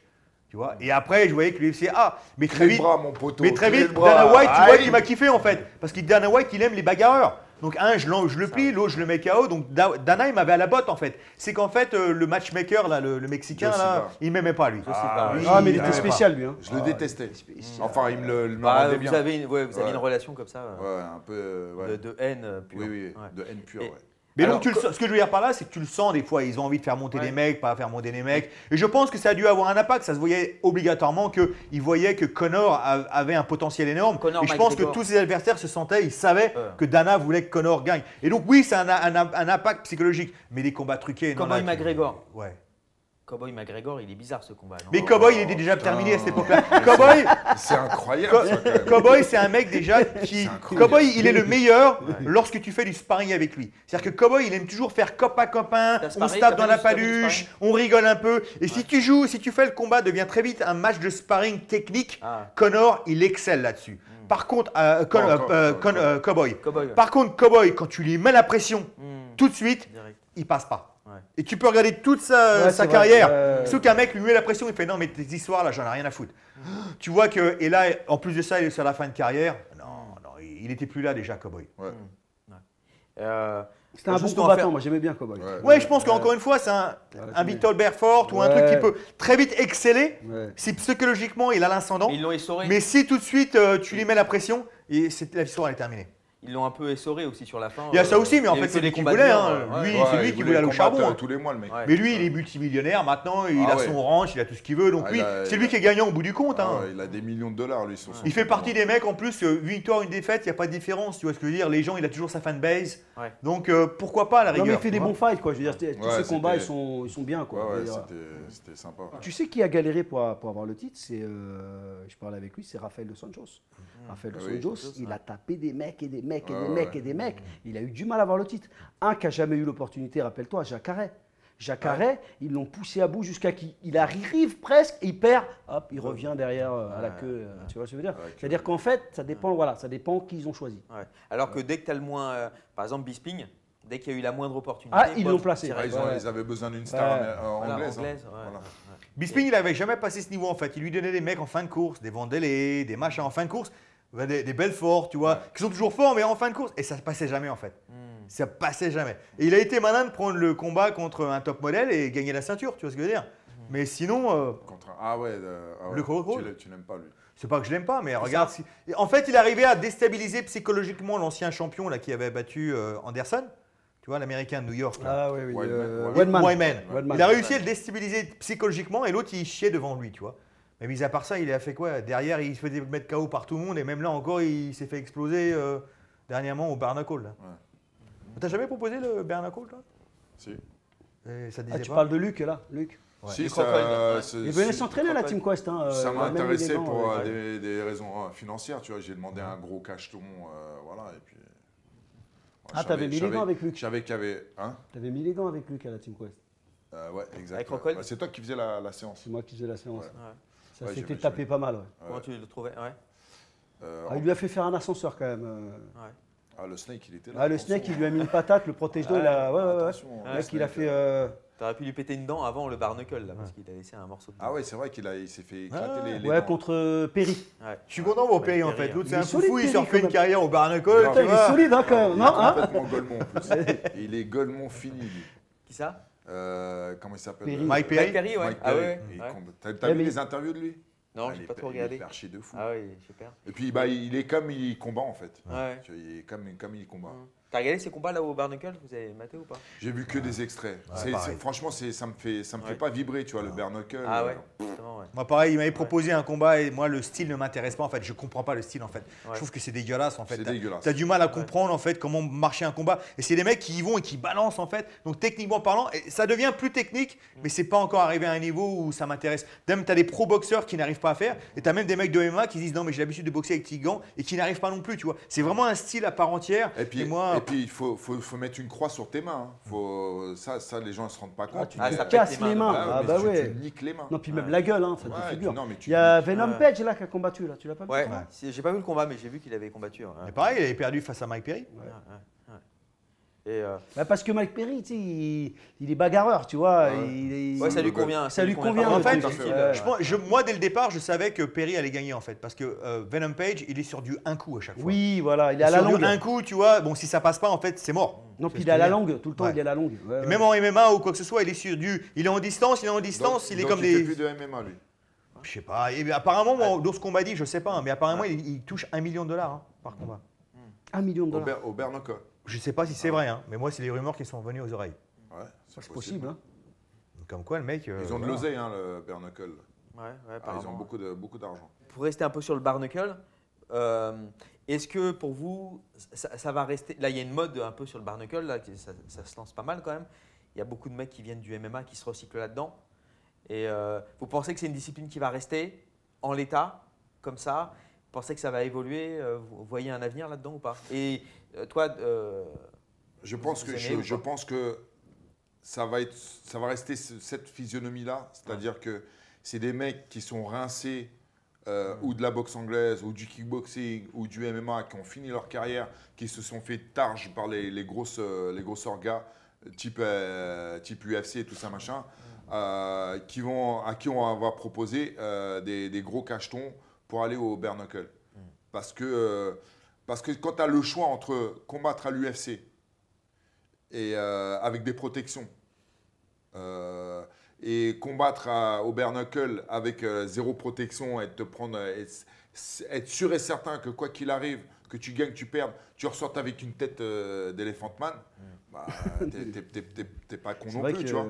C'est-à-dire que tu vas prendre des coups au bare knuckle, que tu gagnes ou tu perds, tu vas prendre des coups que tu vas jamais prendre en, Il y a un Français qui combat au Ouais, Barnacle, ouais. là, Ruskov. en MMA. Tu vois quoi qui c'est, Ruskov, Ruskov? Ouais, de Domingos, ouais. Ouais. Ouais. Et tu sais qui c'est qui a combattu au Barnacle aussi? Guillaume Pelletier. Ah oui, Il oui, a c'est fait vrai. un combat au Barnacle. Ouais, ouais. non? Il a fait un combat en barnacle. Mais euh, Moi, je pense le, le bare knuckle, ça me fait penser pareil au slap fighting ou, euh, Ouais, au, euh, le combat de célébrité avec les frères Ouais. Paul, etc. Je pense que pour le moment, des, c'est ça me fait penser en fait, revenons en arrière avec le Bodog. Le Bodog, ça a marché parce que derrière, tu avais des gros investisseurs, donc ils se faisaient plaisir, etc. Jusqu'au moment où il n'y a eu plus d'argent et ça a arrêté. Et je pense que tous ces sports, c'est ce qui se passe en ce moment. Je pense qu'ils ne génèrent pas suffisamment d'argent. Je pense qu'ils ont envie que la machine parte. Donc tu as des investissements qui sont euh, assez larges pour voir venir dans les années à venir pour un certain nombre d'événements en espérant que la machine parte. Et si la machine ne part pas, à un moment, ça va s'arrêter. Et je pense aussi ce qui se passe en, moment- en ce moment, ce qui se passe, c'est que tu as des promoteurs et certaines personnes qui s'en mettent plein les poches. Euh, donc il y a de l'argent qui, qui- qui arrive, mais je pense pas qu'ils vendent vraiment de pay-per-view, ils vendent suffisamment de tickets pour créer vraiment une économie et un sport qui décolle. Et donc ça, ça va se passer jusqu'au moment où il y aura plus de thunes, où les investisseurs vont dire mais non mais euh, qu'est-ce qui se passe là en fait? C'est-à-dire que là, toi, tu t'es acheté une Ferrari, euh, toi, tu te la racontes machin, et nous en fait, on fait pas d'argent. Et hop, ils vont fermer les canals, comme c'est arrivé au Bodog. Et je pense que tout ça, ça va s'arrêter. qu'il y a un autre truc aussi qui, va, qui, qui marche contre eux, c'est-à-dire qu'un Mike Perry en, à l'UFC, il est inexistant. C'est-à-dire que c'est euh, milieu du, milieu du tableau, voire euh, bas Ouais. du tableau. Ouais. S'il arrive en bare knuckle et qu'il défonce tout le monde, Ouais, les gens ils, se disent ah, Attends, euh, c'est quand même mieux l'UFC. Le, le. Si à l'UFC il ne vit pas et qu'au bare knuckle euh, c'est un champion, c'est que, c'est que le bare knuckle c'est c'est moins bien que l'UFC, tu vois. Ils remplissent pas les salles en plus. Hein. T'as vu, les salles, c'est pas non plus. euh, Ouais, ils un essaient de faire vide, hein. décoller le truc. c'est mais- pas des, des énormes salles de- déjà. tout- Non, tout- déjà, mais en plus, elles Ouais. pas, elles sont pas pleines. Ouais, hein. ouais. Et puis, et puis tel- ils payent tellement euh, Il y en a cher. d'autres pour- comme ça. euh. Ils payent, tellement, aussi, ils payent tellement cher les, les combattants pour qu'ils viennent chez eux Ouais. qu'à un moment donné, comme il a dit, euh, le, le business model, à un moment donné, il va. il va Bah, être- si c'est un business euh, de blanchisseuse, euh, Il y a Ah. peut-être ça aussi, tu vois. Il y a peut-être Ouais, ça aussi. Moi, j'en suis pas Ah oui. sûr. Moi, je pense qu'il y a vraiment des investisseurs derrière le et qui sont en train de sucer tout leur argent, en fait. On voit ça aussi dans le cinéma. Dans le cinéma, c'est pareil, tu vois. T'as énormément Non, de films c'est- qui marchent pas. ah, ouais. films à Il faut 200 qu'ils millions de dollars, un- etc. Ils font un des bides. Mais vu qu'à un certain niveau, tout le monde est payé, tout le monde fait des millions, ils remettent pas le, le- le truc euh, à l'heure, tu vois. Ils s'en foutent. Ouais, ouais, tu. Jusqu'au moment où les investisseurs commencent à dire Mais euh, elle est où notre argent quoi Mais bon, tu Et tu regardes en plus tous ces trucs-là de Barnacle et les celebrity boxing avec les, les frères Paul. En fait, ce sont des fans de MMA qui vont regarder ça. C'est pas des fans de boxe. Les fans de boxe qui regardent, c'est la boxe. Il y a des fans comme nous qui Ouais. regardons un petit peu tout, mais à un moment, les fans de MMA et les fans de boxe sont des fans complètement différents avec une économie complètement différente en fait. Et même les, les combats de- des Paul, c'est pas des, des- Tu regardes l'audience, et les mecs ils disent c'est des fans de MMA en fait.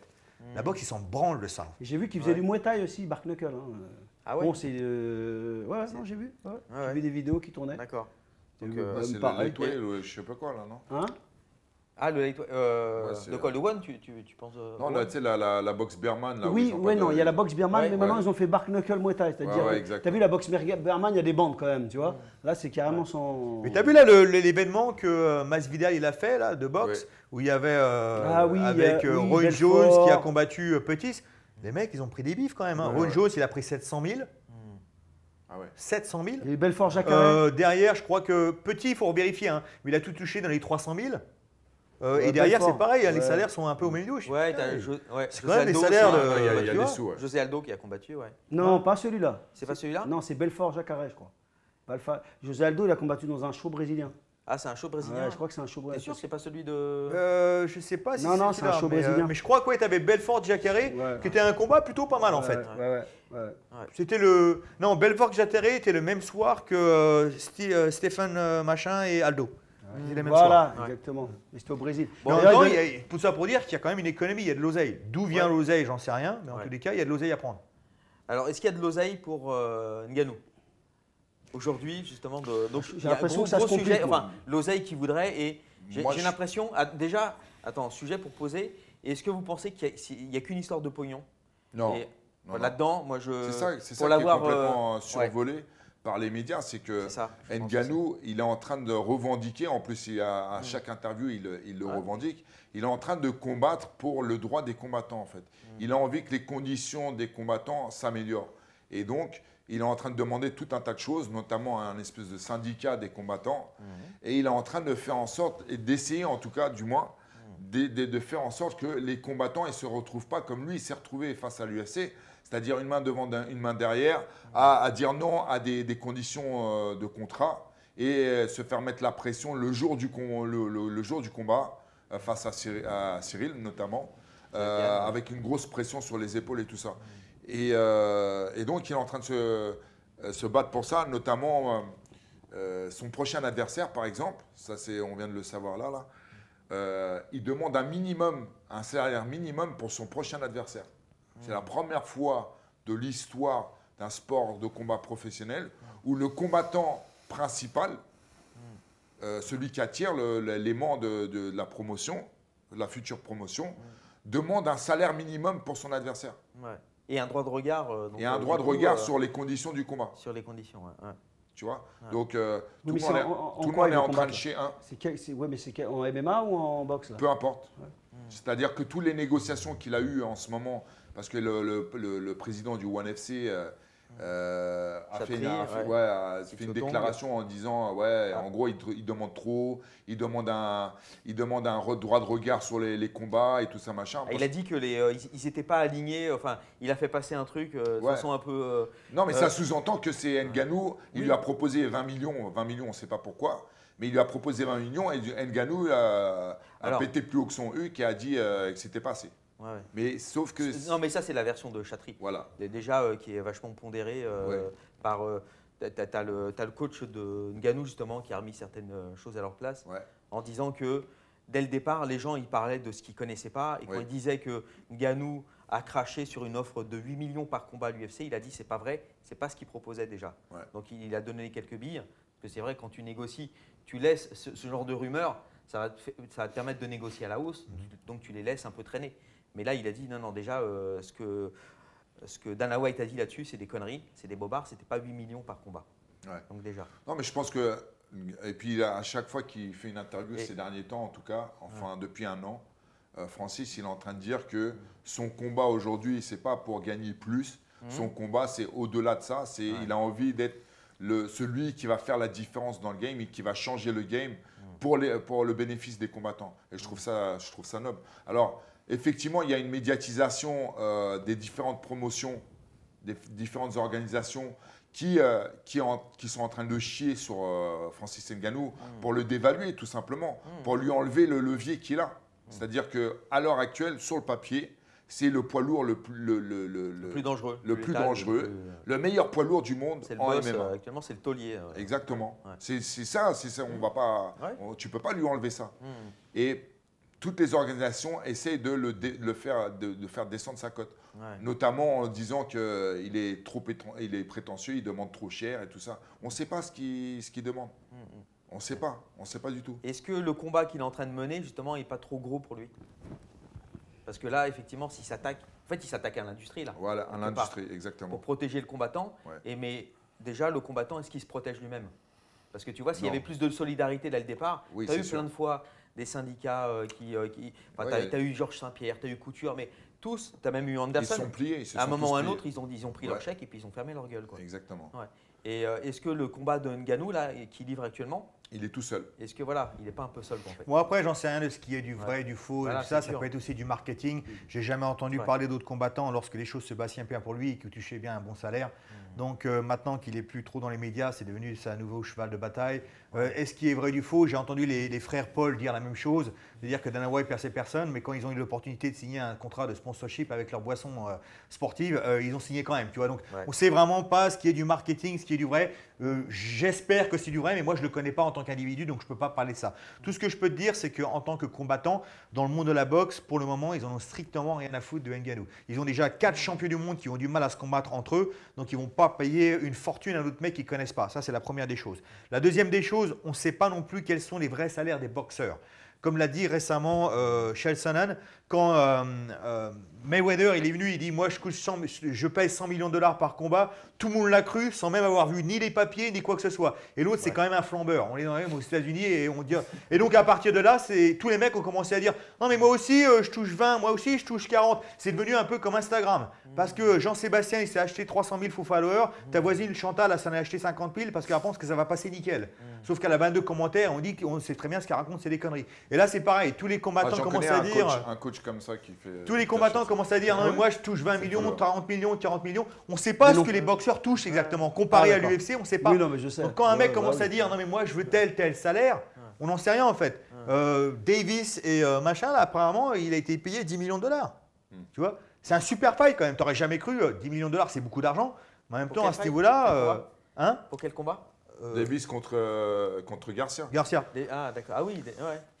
Ouais. T'aurais cru que si l'autre il est 100 millions de dollars, 150 millions de dollars, bon bah celui-là il aurait fait quand même facile 30 ou 40. Il a touché 10 millions, ce qui est quand même un, un salaire énorme. Mais mec, c'est la superstar de la boxe en ce moment quand même. Hmm. Tu vois ce que je veux dire? Donc les salaires qu'aussi on parle, sont-ils vrais? Est-ce que c'est trop? Est-ce que c'est pas assez? Ça, c'est un deuxième truc. Et la troisième chose, pour pouvoir demander certaines choses, encore une fois, il faut être sur un piédestal. Et qu'on le veuille ou pas, il faut être dans les médias mainstream. Si tu n'es pas dans les médias mainstream, les gens n'en ont strictement rien à foutre. Tu ne peux pas vraiment commencer à imposer certaines choses. C'est comme quand tu gagnes un Oscar. Tu gagnes un Oscar, tu as six mois pour signer un gros film.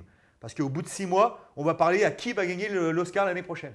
Tu vois? Et donc c'est pareil. Là, il avait encore une fois, comme je l'ai dit précédemment, l'UFC qui était derrière lui, qui pouvait dépenser des millions de dollars pour le recevoir dans les gros shows télévisés, où là, as vraiment, tu parles au monde entier, et il n'a plus ça.